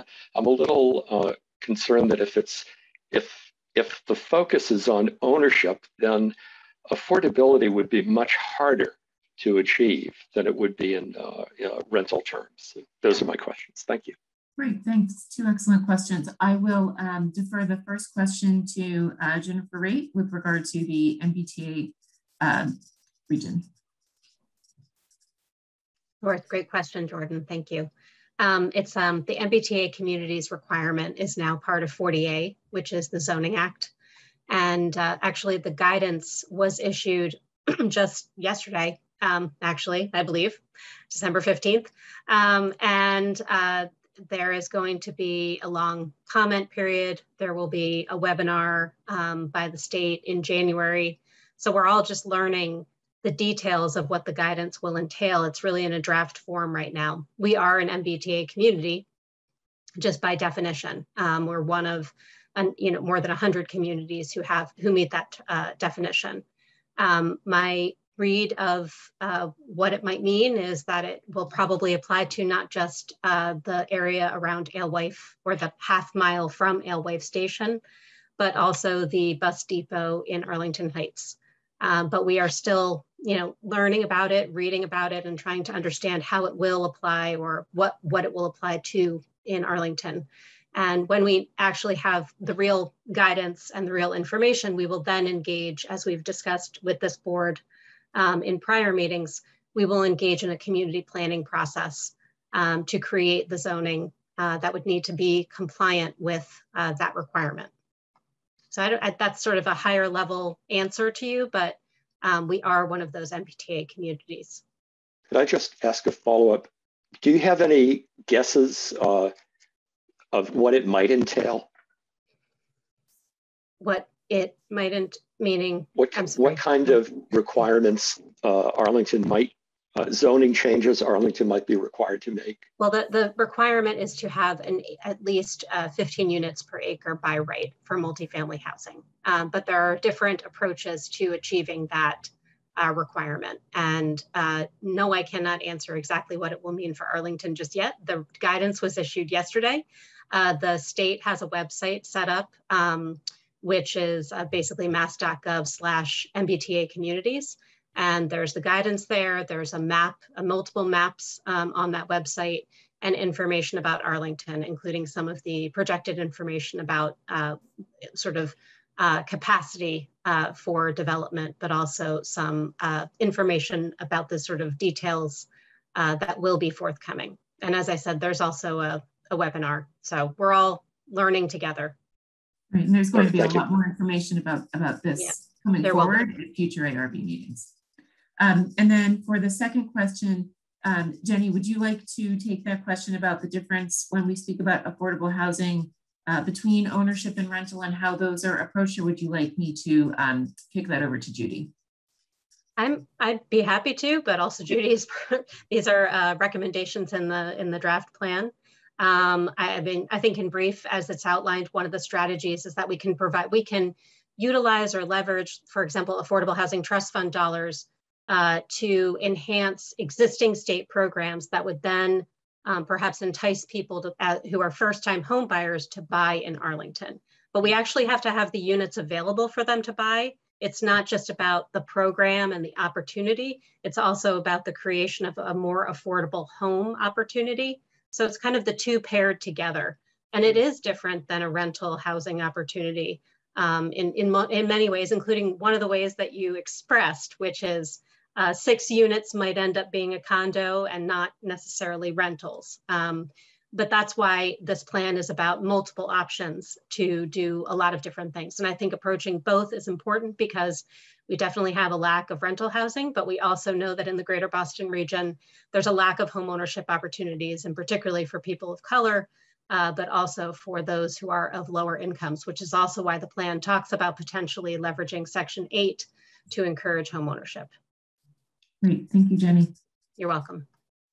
Um, uh, let's see, let's move on to the uh, next uh, speaker this evening. Um, so uh, Don Seltzer, if um, you wanted to take your, three minutes for any commentary and or questions.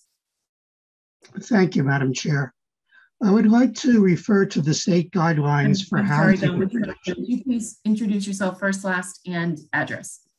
I'm sorry, uh, Don Seltzer, Irving Street.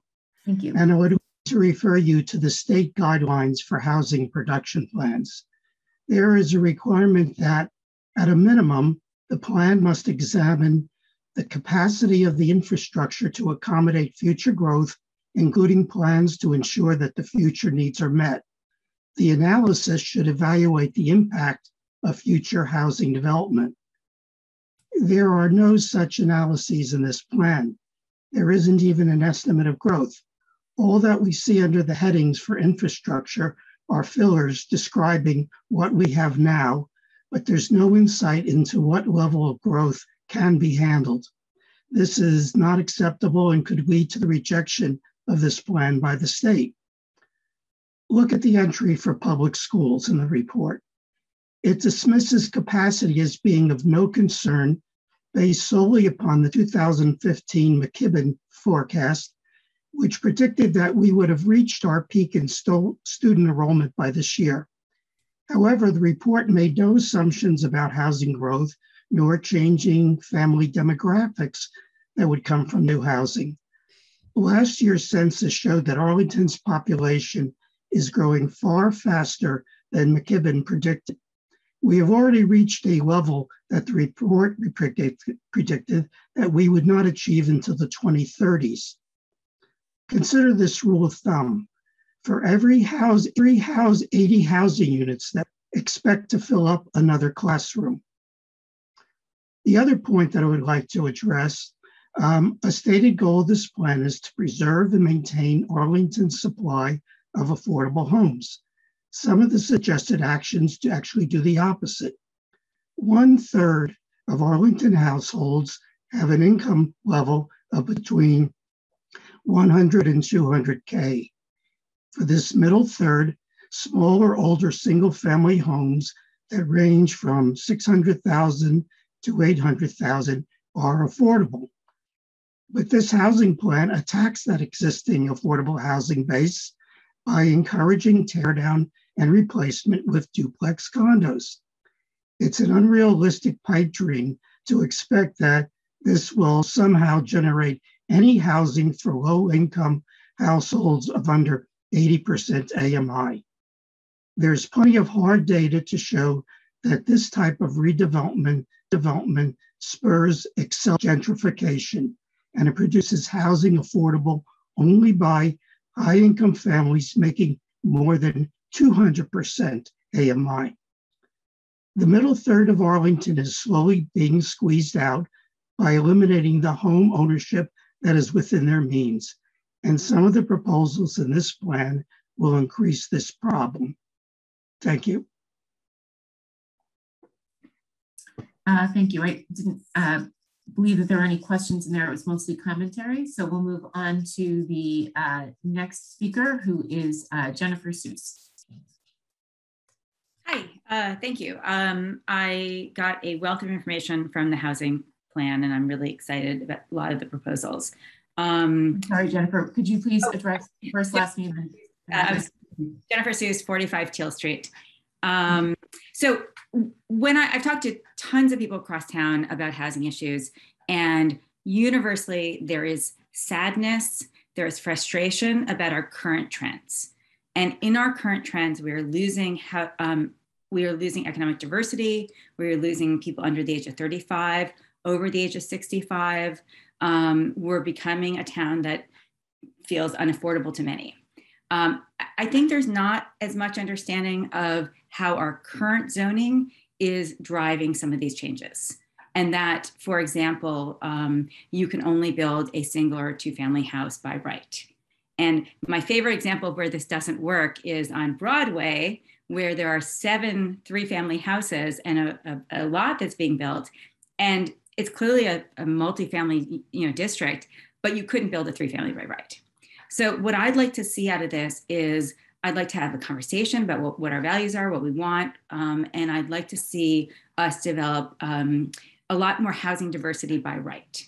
So multifamily units in the appropriate places, um, uh, you know, the housing, the 40A is, is a great, um, great, great part of that. When when I talk to people, where I think there is consensus is building up in the corridors. And there was some frustration when town meeting passed the mixed use zoning that allowed for greater height that nothing really happened with that. And I think not really an understanding of all the other barriers in terms of FAR, setbacks, et cetera, that made it really hard for anything to be built.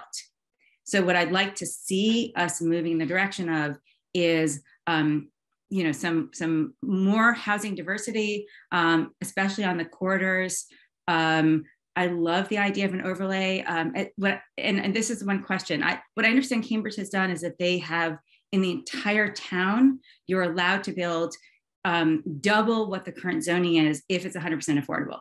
So if you have a single family zoning district you're allowed to build a two family if it's 100% affordable you know, two family zoning, you're allowed to build four families 100% affordable. So we don't necessarily have to copy them, but I would love to see something like that where we provide some bonuses and some incentives to sort of um, leverage uh, some of the um, what the market is doing, right, um, to get the kind of things that we need. Um, so um, yeah, so that's I, I think I think there's more consensus than people might realize about developing, especially on the corridors, and developing housing diversity, affordable housing. Um, yeah. Great. Thank you, Jennifer. Was your question, are you looking for um, yeah. to provide additional information about what specifically the Cambridge um, overlay? Yeah, so that's, that's the question. Is that right? Is that what they do? Are they just saying if you build 100% affordable, you can double everything? That's what I understood it to be, but I, am not 100% sure. Great, thank you. I'll turn it over to Judy it is a doubling of density um, and also an increase in height. Um, it isn't the entire city. There's like but big swaths of the city. There's actually a map on Cambridge's website of the overlay district, and it, it's in, it's a pretty significant area, but it's not the entire city. So, um, but a lot of opportunity area. Great, good. Okay, thank you. You're welcome. Thank you, Judy. Um, thank you, Jennifer, for your question. Uh, the next uh, speaker this evening will be Rebecca Peterson. Hello, um, my name is Rebecca Peterson. I live on Florence Ave. Um, I don't have any questions tonight. Um, I just, my comments address the proposal to get rid of single family zoning in Arlington. Um, I have to say, I'm, I'm really tired of the obsession that uh, residents have with increasing density in Arlington. Uh, it all is coming down on the backs of homeowners of single family homes. Um, and I would say without addressing some of the concerns that um, I believe uh, Don Seltzer mentioned, the traffic and the school system, affordability is often stated as a goal, but allowing two families to be built by right will do absolutely nothing to help affordability. I don't know if you've seen, have you seen the prices for renovated or new and renovated condos and two family homes, they're listed for a million dollars and up. I'm not sure that that's anyone's definition of a missing middle uh, slice of the, the ownership. Building truly affordable housing is one thing for the elderly, for low income, for disabled, et cetera. But squeezing two families onto every single grassy lot is another thing altogether. Um, Arlington's popular for a lot of reasons among them the proximity to Boston and the schools, but one of its draws is a suburban feel. You can have a, a you're, you're, close to the city, but you can have a beautiful home with a yard and trees, and you're 15 minutes to Boston. Um, a two family house sold on my street recently. It's a very old house that, as far as I know, was converted to two units long before any of this zoning came about. But do you know who bought it? One family bought the house they broke through the walls, they bought both units and converted the entire thing back to a single family. There's a lot of demand for single family homes here. Um, as for my family, we bought a specific type of house in a specific type of neighborhood for a reason, meaning a single family home in an R1 zone. This is the free market at work. Had I had a different budget, I might have moved to Wellesley, but that's not my budget if I wanted a denser living experience, I might never have left my two family in Watertown to come to Arlington. But I, I, I, just feel that someone else should not be imposing their vision of the correct home size or the appropriate land use for my family, my home, my investment. and I'm urging you not to abolish single family zoning. Thank you. Thank you. Uh, the next speaker will be Wynelle Evans.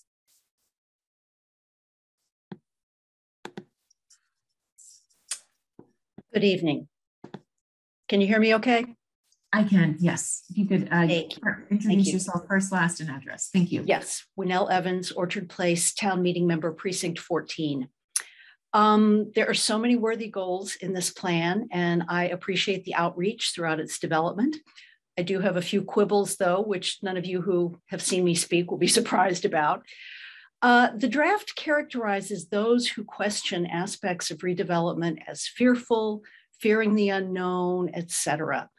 And I very much hope that future discussion will acknowledge that concerns about loss of open space, strains on infrastructure, how to pay for the associated costs of an increasing population, especially school costs, are not ungrounded fears. They are real concerns about real issues that really affect us all.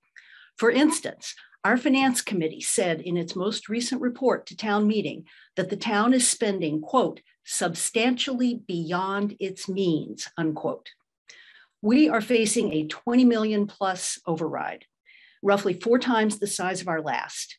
And FinCom has said that this is likely to be politically unacceptable. In other words, difficult to pass. But if it does, and combined with the debt exclusion for the high school, this is going to mean the end of Arlington for many of our older residents or those on fixed or lower incomes. They're going to be forced out of town.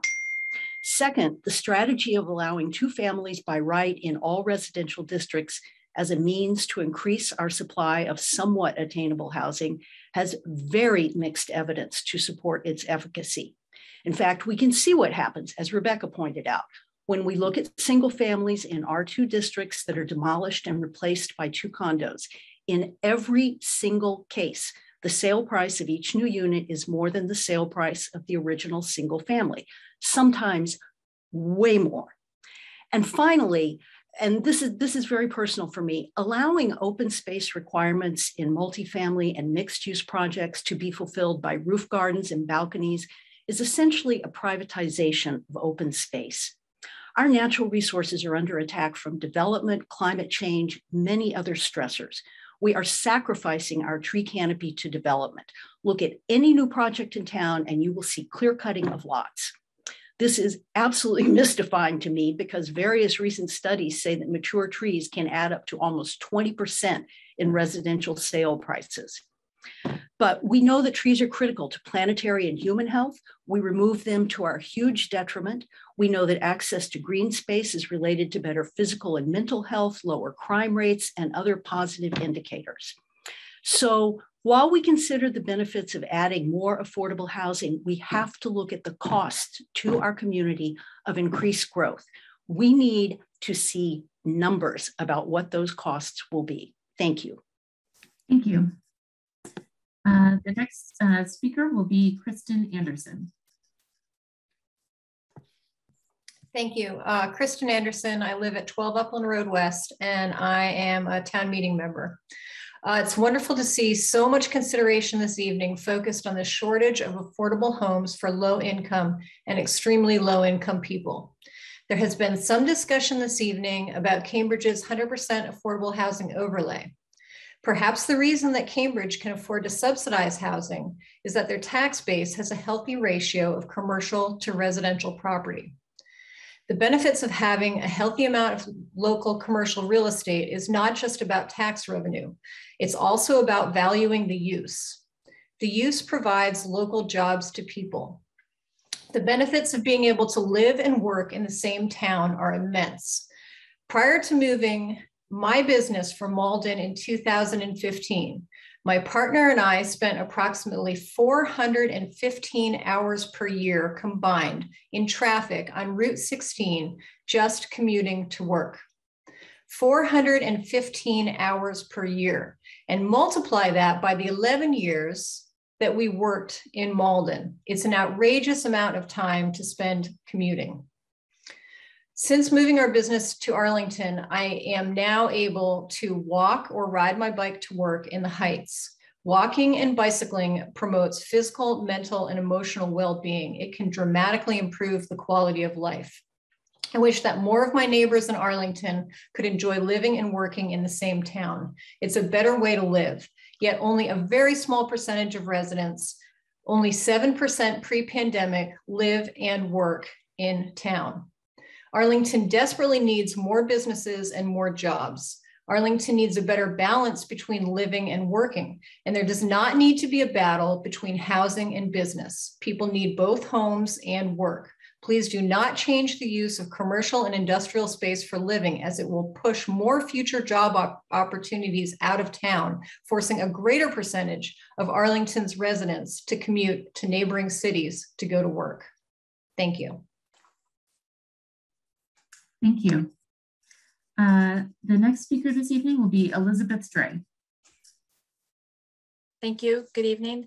Um, I am new to the housing conversations in the last couple of years. And so I'm, I'm, I'm wondering if Elizabeth Dre, Jason Street, sorry.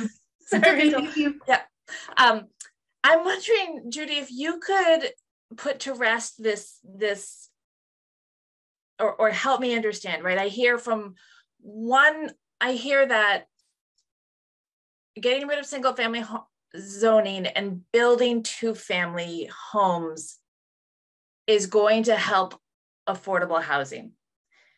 And then I heard you say tonight that no, that that gives you more choice, right? Choice in housing. But does it also help affordable housing? Because that's sort of an argument that I keep hearing um, and if it's really just about mixed use and choice, that's fine. I just want to I want to know what it's doing, right? I just want some clarification from from somebody. and then the other question I have is I've heard you talk about there's sort of these three buckets of choice, affordability, and leadership.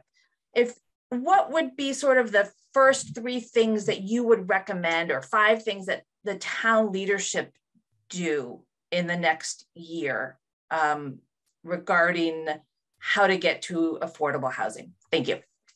Great, two good questions. Um, and Judy, I'll turn them over to you. If you could first take the question about single family, is that um, choice, affordability, or both? In my opinion, it's mainly about choice in your kind of community.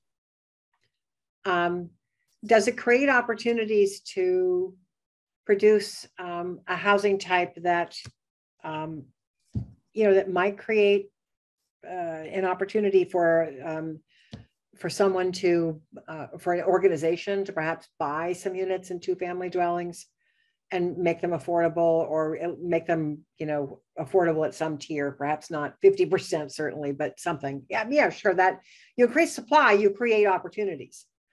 But i think that we were really trying to look at the variety of issues we found one of which was choice.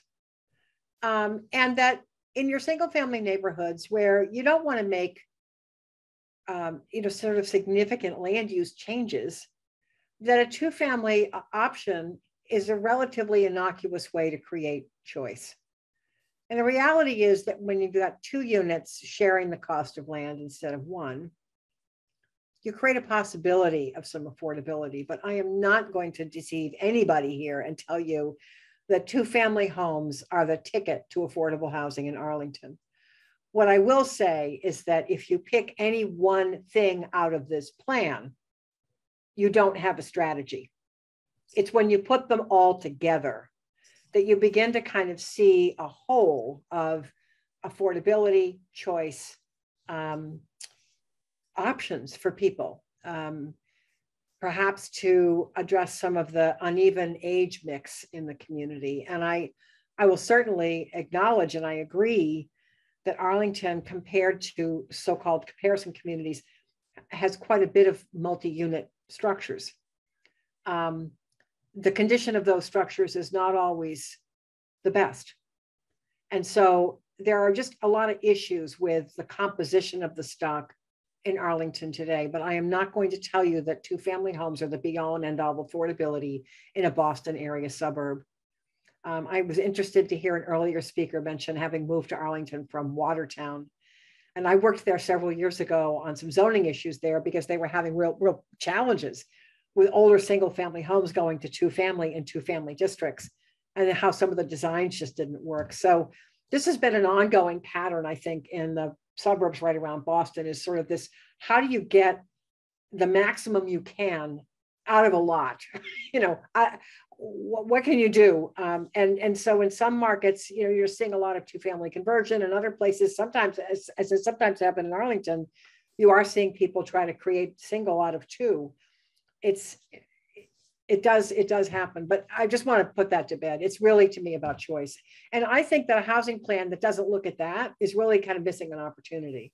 So yes this plan is mainly about affordability but it's not the only thing it's about.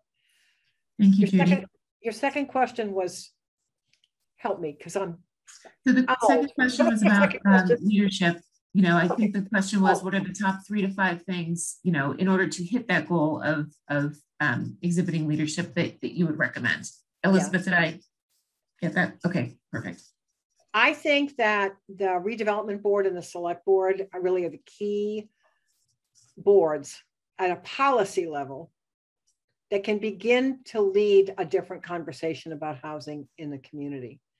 This is not a comment about the exist of the performance of either board today. I'm simply saying that when you have elected boards with the prestige of the ARB and the select board. Those are groups that, that can begin to change the messaging about housing. And, and I think that they're going to have a lot of work to do. Um, I think that, that um, making sure that when the select board sets annual goals, you know, every town I work in has some kind of goal setting process every year. Well, one of the discussions should be, so what, what are our departments or what are our boards and commissions going to do this year to implement something in the housing plan? Somebody asked me in a meeting uh, on a housing plan in another community yesterday about, about getting stuff implemented. And I said, really, I, in all the years I've been in this field, which is 35, I'm embarrassed to tell you I'm that old. Um, people ask all the time like how do you keep how do you get a plan how do you, how do you keep a plan from from sitting on sitting on a shelf? And the answer is you have to implement it. But i think that sometimes the implementation falls short because the conversation stops. Those two boards are in a pivotal position to lead a remessaging about housing and i would encourage that to happen. I think that the more that takes place the more interesting it becomes to people to serve on a housing trust because there's a sense that I'm going to get some satisfaction as a person here, volunteering my time in the community because this matters.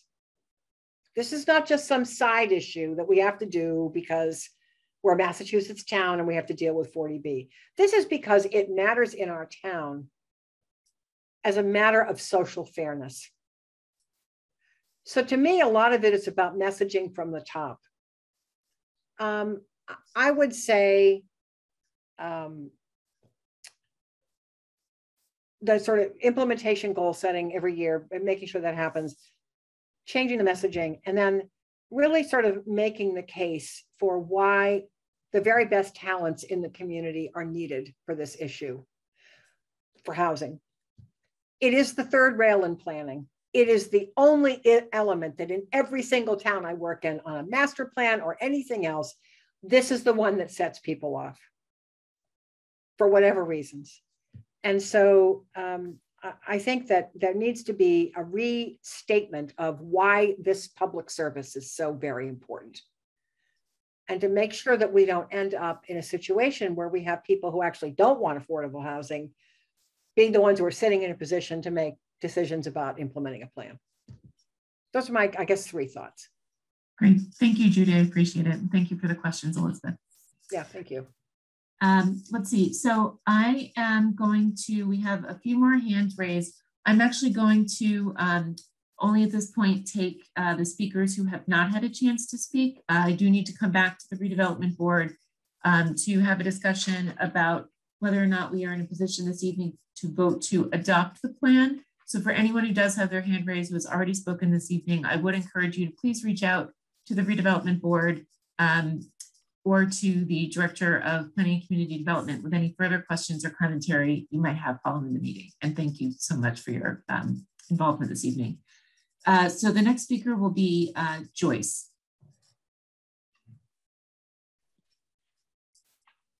Hi, um, I'm not Joyce, I'm Bob, Rodelcia, Columbia Road. I always come up as Joyce, I don't know why, whenever I log on to a Zoom meeting. Uh, I don't know if anybody else has had the same problem I had tonight with the audio.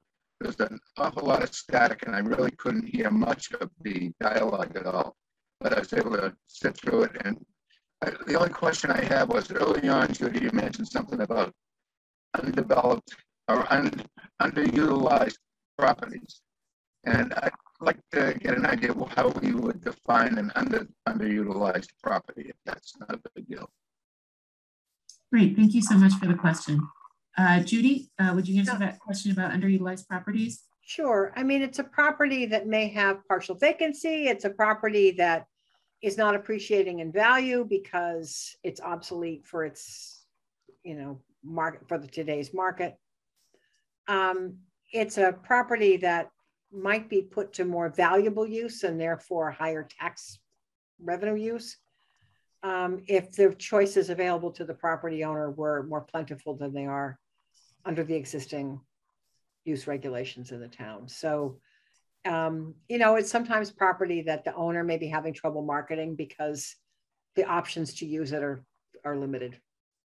So it has more than one meaning, but it's essentially something that could be put to a higher value use. Great, thank you, Judy.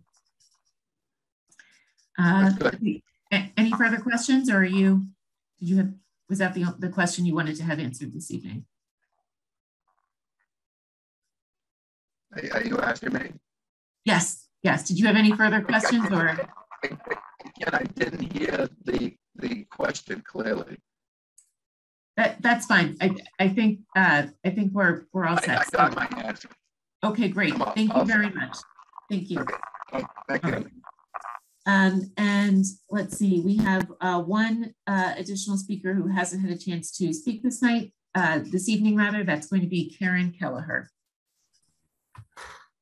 Thank you very much, Karen Kelleher, uh, Beacon Street, and also a member of the Housing Plan Implementation Committee. Um, I'll try to be brief. Um, Judy, I want to thank you for all of the data and information in this plan that we can use as we try to identify the best strategies to create affordable housing in Arlington. You talk about choice, affordability, and leadership, and I'm sure you would say it's wrapped into leadership, but I want to pull out one strain of that, which is money.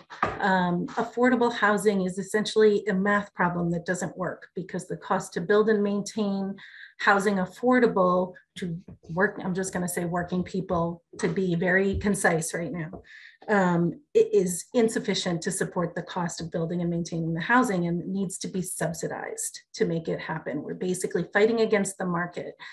And the town of Arlington has had relatively limited resources, though we've made some very important investments and commitments in this space. But we are the town of Arlington and have somewhat limited options to raise revenue. So we will never be able to meet our affordable housing goals with just our own subsidy. We will only do unit by unit or, or small amounts of housing that way. And so in my experience creating affordable housing, there's two ways to use your local subsidy. One is to use it to incentivize the things that attract federal and state subsidy.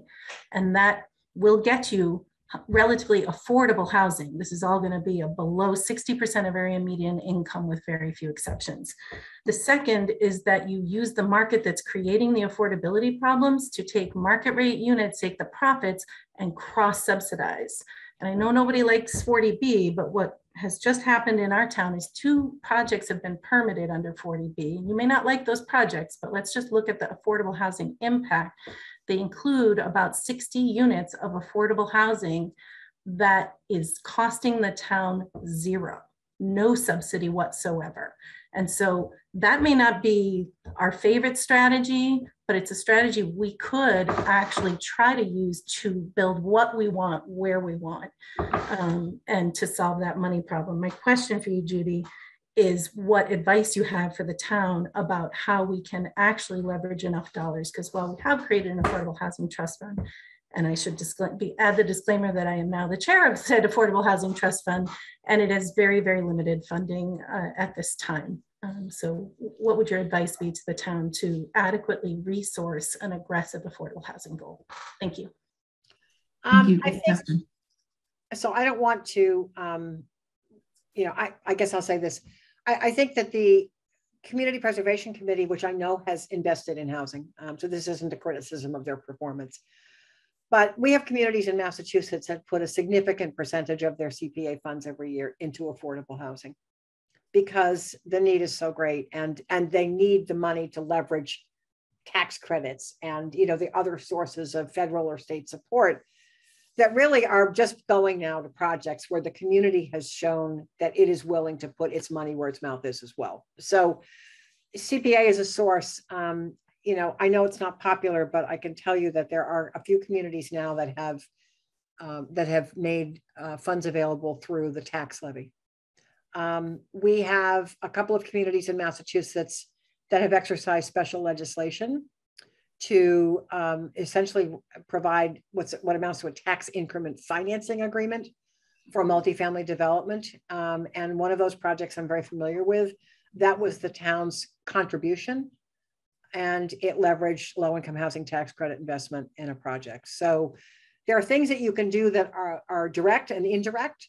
Um, the the other thing that I, I would say is um, don't be afraid to think about using tools like inclusionary zoning to be a source of subsidy. This is a real controversy in the world of inclusionary zoning. Some people say we never should accept these in lieu, and other communities say we should. And we have examples of towns and cities and towns in Massachusetts that have generously allowed inclusionary zoning to be the producer of revenue or income rather to a housing trust and not necessarily the thing that created the actual affordable units. And in those communities that have done that, we have housing trusts and other housing organizations that have been able to take that money and create deep affordability. There's an awful lot that a nonprofit developer can do with a couple of hundred thousand dollars. So it isn't always necessarily that the one unit the developer is offsetting produces one unit somewhere else. It actually can be used as an investment in a development that's going to create multiple units.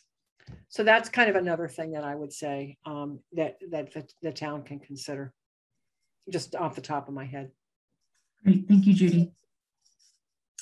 All right, and then um, for our last uh, public uh, speaker this evening, it looks like uh, John Worden, you're you're using Patricia's uh, account, but it looks like you're a different speaker looking to to add some commentary. Thank, thank you, uh, uh, Madam Chairman. Um, uh, John Worden, Jason Street. Um, I have um, looked at this plan, and since my wife's on this committee, I've heard an awful lot about it. Um, but in my opinion, if this plan were to be approved and implemented, it would destroy the town of Arlington as we know it. There's just no question if you if you implement all these things and various people raise various aspects about it, it would be an entirely different place, certainly would not be affordable. And I don't know who would like to have that on their conscience. I would hope that you, members of the redevelopment board, who own property here, who are citizens here, who vote here, pay taxes here, would not want that in your conscience. Unless, like your former chairman, Mr. Bunnell, you're going to sell your house and bail out and leave others to reap the whirlwind. So I hope that doesn't happen and you will you will uh, either reject or seriously amend this plan so it really makes some sense for our town and not for the development world or the outer world or wherever else Judy Barrett operates. Thank you. Okay. Uh, with that, we will close public comment for this evening, and I'm going to turn it back to the members of the redevelopment board um, for any uh, final commentary, and then we will uh, discuss whether or not we are in a position this evening to vote to uh, adopt the plan as either presented or as we would request that it be amended. And Ken, I saw you raising your, your hand, so uh, we'll start with you first for your commentary. I just want to comment um, on a lot of people saying you can get CPA funding. Okay, and uh, I'd like to co comment that CPA has been funding uh, affordable housing yep. every year, but they, they, they, they, they only have by law can only fund so much. They have other areas they have to fund, which is open space and historic, which is the other two categories. They have funded fully for all CPA. So I, I don't want to think that there people let people know that there is money out there for the from the CPA for affordable housing. There's not anymore. Everything's been funded and will be funded uh, as they have been. So just want to leave that as a as a comment. And then um, my comment as far as uh, adopting this, I would like to make a few more changes to it uh, prior to uh, adopting it. And I'm not sure if we can state all the changes right now uh, to uh, approve it as as noted. I don't think I, am I'm, I'm in a position to, to do that right now. Uh, Kim, do you have specific changes? I know that others um, have have identified specific changes. Um, you know, I have a couple submitted from um, Gene and, and some submitted by by Steve. Are there specific changes that, that you would like to add to that or as a, well, as a follow-up to this meeting? Well, one of them I'm still having issues with, and I know uh, we haven't really talked it all the way through yet, is that uh, that overlay district, uh, uh, adopting 100% affordable housing. I, am not a proponent for that. Um, that is something that uh, I would like to at least modify somehow, uh, such that uh, you know we're we're allowing that already with with the nonprofit uh, developer, which is fine because that's that's what their charter is. They're not going to make market rate housing because they're they're there to build um, affordable housing. But I think as a policy, I think we should not uh, push for that because I, I, don't really uh, uh want to do clustered affordable housing anywhere. That's that's the real open thing that I have um, that I really like to see if we can change that somehow. Uh, the other ones I can live with. Sure. Um, can could I suggest too that um, I think when we when we decide to adopt the plan, it's not a commitment to implementing every single item in the plan, but rather to, as Judy was suggesting, review and identify those that we perhaps group together um, and decide which are the most impactful for us to, to implement as a as a package over time in in town. So I'm wondering if there is um, either a willingness to um, perhaps a, um, include that as an option to explore further, or if there's some language around that um, that you would be willing to entertain in order to keep that as something to explore, um, knowing that again, anything that we adopt is not set in stone as these are the things we will implement. That's my understanding. And Jenny, um, please correct me if I'm wrong as what we're looking to do as we adopt the plan is to adopt these as potential strategies to be explored further. With all of our plans, they include many goals and strategies and recommendations over a number of years to implement them. Ideally, they are things that we all agree are important but they might not happen all at once. They might happen over time. They might begin during the five-year period, but not be completely implemented as with the, the current plan, the plan that we just uh, completed. Um, so you, yes, everything that you said, Rachel. Okay. And again, Kin, you know, if, if we as a board feel strongly that that's not something we'd even want to consider moving forward, we can certainly request that that be removed. And if that's what you're suggesting, I'd love for others to weigh in on that.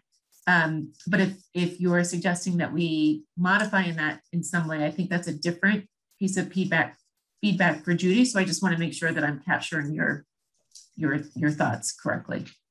I want to uh, be okay with it for now. Just I want to listen to what the rest of the board members have to say. If they're fine with it, I'm not going to be the one uh, saying that for now, knowing that we can make modifications to this later on. Okay. Uh, I'm less concerned about the, the when is it can implement in time. I'm just about the change itself, but I'm okay with that. Yeah. Okay, great. Thank you, Kin. Uh, Gene, I'll go to you for, for your thoughts. Um, I would prefer not to vote on it tonight. Um, Kim raised an issue which I also raised in my written comments um, about um, whether the overlay district had to be 100% in the pros and cons. And there are a lot of other issues that I raised. And I think that my fear is that despite what you know Jenny said, with which I don't disagree, that once it's there and it's adopted, it's going to take on a life of its own. And I'd rather have it take a life on its own after we have another opportunity to read it with the changes, that it's more nuanced in the ways that I suggested in part in my comments. And that as Judy explained that I um, agreed, that it needs to say more about these are, these recommendations are more like suggestions and not something that uh, we're going to automatically implement. So I would prefer um, to see another draft. And I would prefer if this can be done in a way where it's shared with the board and we have an opportunity to comment on the next draft and then get the draft that we're going to vote on. So that would be my preference. Thank you, Gene. And so that I make sure that we're um, giving Judy the um, the feedback that she needs. I know that you've submitted, you know, significant feedback both at this as well as the the very preliminary draft, which I appreciate. Um, it, it, sounds like a um, some sort of an introduction to the section um, where where they are um, the report is getting into the specific strategies in terms of um, you know building building out the the nuance of um, again these are to be combined or or vetted they're they're not specifically each identified for implementation is what you're well i mean that's one i mean that's one piece of it obviously. okay. Yeah. Um you know again i would refer judy to my three and a half pages of comments. Okay. Thank you gene. Uh melisa thoughts? Um, well, I mean, I think the overall kind of the plan and the implementation strategies are sound. I feel like they're well thought out. I feel though, in terms of um, making a decision, I feel like I, have heard from a lot of people tonight, and I'd like to kind of um, absorb that, digest, you know, what I've heard from the community through this public uh, or this um, meeting tonight, and as well as give some thought because one thing that I think Judy said that is essential is like if you're picking and pulling at little pieces, that's really not a strategy. So my thinking right now is, you know, we can carte blanche this a plan with a bunch of strategies, but I want us to be thoughtful in how we're organizing and prioritizing the strategies that we do pull together. So they do make sense and they do be then they are responsive to the things we're hearing um, yet make an impact because you know diversity and uh, you know safe places to live for people are important to the residents in arlington. And that's i know my guide one of my guiding principles. So i want to be thoughtful and um, on the next step but i would appreciate not making a decision to adopt it tonight Okay. Uh, Steve, your thoughts? Nope, we can't hear you. Not yet. Third time's the charm. Nope.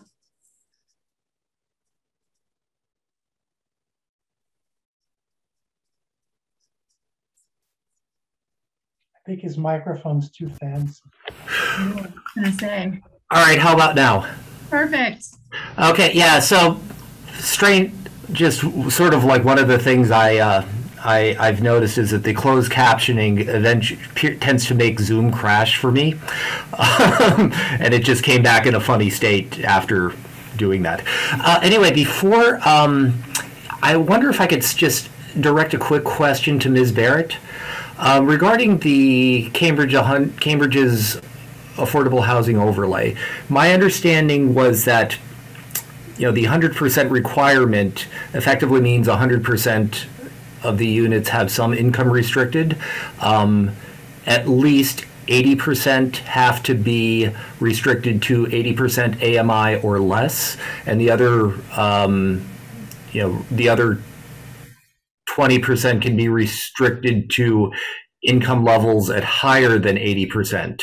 Is, is that is that correct? Yes, sir, that's correct. Okay. Well. So yeah, I, I, I, I, to Kin's just um to Kin's point, um, you know, maybe we don't say a um, maybe we frame it the housing overlay idea in a more general term, um, just like affordable housing overlay rather than a 100% affordable housing overlay, and just explain that you know there will be density bonuses or um, you know a buy or it'll be by right um, yeah as a result.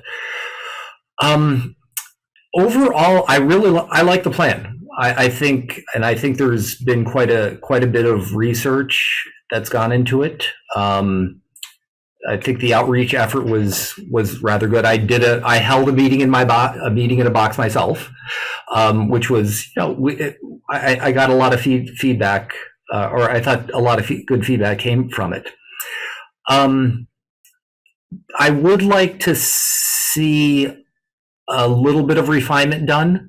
Uh, like Mr. Benson, I also submitted a couple of pages of comments, and they were more just you know along the lines of clarification. Uh, I do agree with him that it's, you know, there are some areas where um, a little more nuance would help.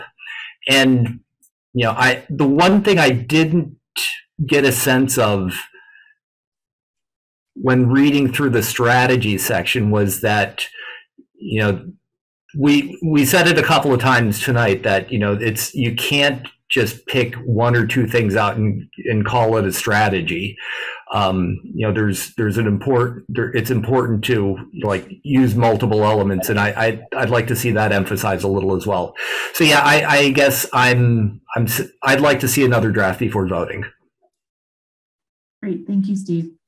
Um, so it sounds like um, we are going to to need to um, put a put an actual vote to adopt the um, the plan on a on a future meeting. Um, so I, I, guess I'd like to turn it over to, to Judy and Jenny to discuss timing um, for when we think that a draft, um, a, a new draft that incorporates the, the feedback from the board this evening and from the commentary that was um, received might be available um, so the board can review it and be in a position to adopt this at a, at a future meeting.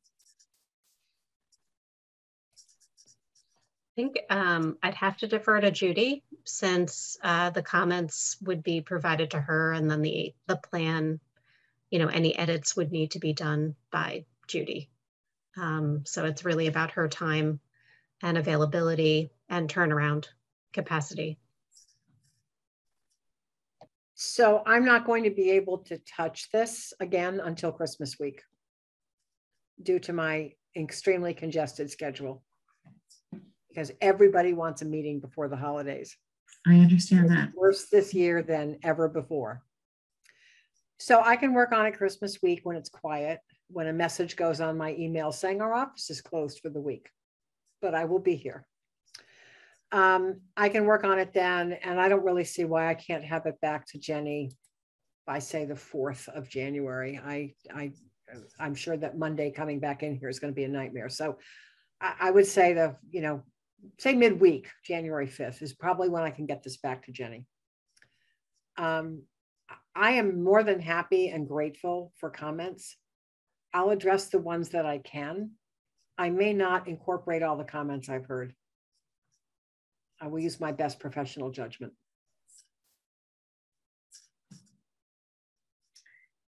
Okay, um, I think that it would be helpful for this board if there are comments that um, you feel warrant additional discussion, that perhaps we flag those.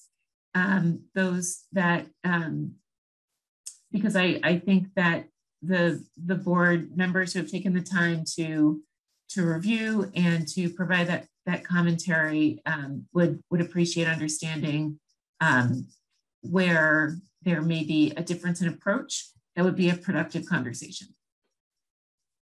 Thanks. Uh, Gene, you had a comment.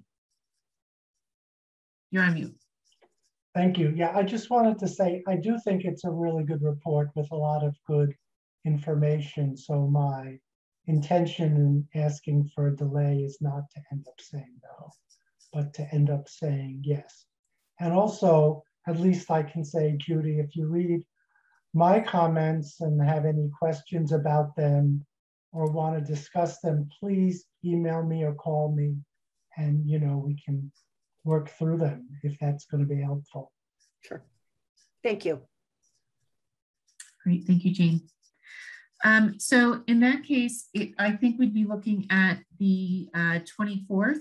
Uh, we have meetings in January, I believe on the 3rd and the 24th, if I'm not mistaken. Um, so this would this would need to go on our in our uh, meeting at that point. So that should give um, Judy, if you need a little more time um, beyond um, mid midweek, the, the week of the third, um, it looks like we have some, but that would also give time for um, the board to review the the next draft and um, you know per perhaps if there's any any commentary that goes back between um, you and, and the board members before then, we, we have time to do that before the 24th. Could I just point one thing out, Madam Please. Chair, before I forget? I'm not going to steal Jenny and Kelly's thunder on this, but I guess I will. One of the great reasons that a town does a housing production plan is to be able to qualify for what's called safe harbor. So if you do enough production, you um, you become eligible for a stay, if you will, a sort of period in which you don't necessarily have to approve more comprehensive permits because you've met your regional fair share for a period of time. Arlington has met that and will be certified based on the decision that the Board of Appeals issued in, I think it's 1165R um, Mass Ave, I believe. Um, Jenny and Kelly just got that information in the last 24 hours from DHCD. So if you ever question why these plans matter, aside from the fact that affordable housing matters in every town, it also matters because it allows you to, to kind of manage how you're doing things um, and perhaps spend a little more time pursuing focus strategies uh, in the interim. And then perhaps to even maintain that certification period as it's known for more than two years. But that effort is directly attributable to the work of your Board of Appeals and the, all the people who were interested in that project and your staff. And I think it's just important for the public to hear that. Great, thank you for bringing that up, Judy. You're welcome. Um, any other uh, comments from, from board members? I'll, I'll run through again. Kin? Nope. Gene? Uh, Melisa? No. Nope. And Steve? Nothing further. Okay, great. Um, so at this point, um, I think we'll continue um, the discussion on um, the adoption of the housing production plan to um, January 24th. Um, don't believe that we need to take a, since it's not an official um, hearing, we don't need to take a, a vote to continue. No, Um, you, you don't.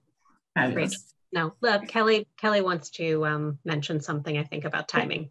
Oh, great. Thank you, Kelly. Sorry, I didn't see your hand raised there. Please go Sorry, ahead. no, um, thank, thank you, Rachel. Um, it would be helpful, um, so I have received comments from Gene and Steve.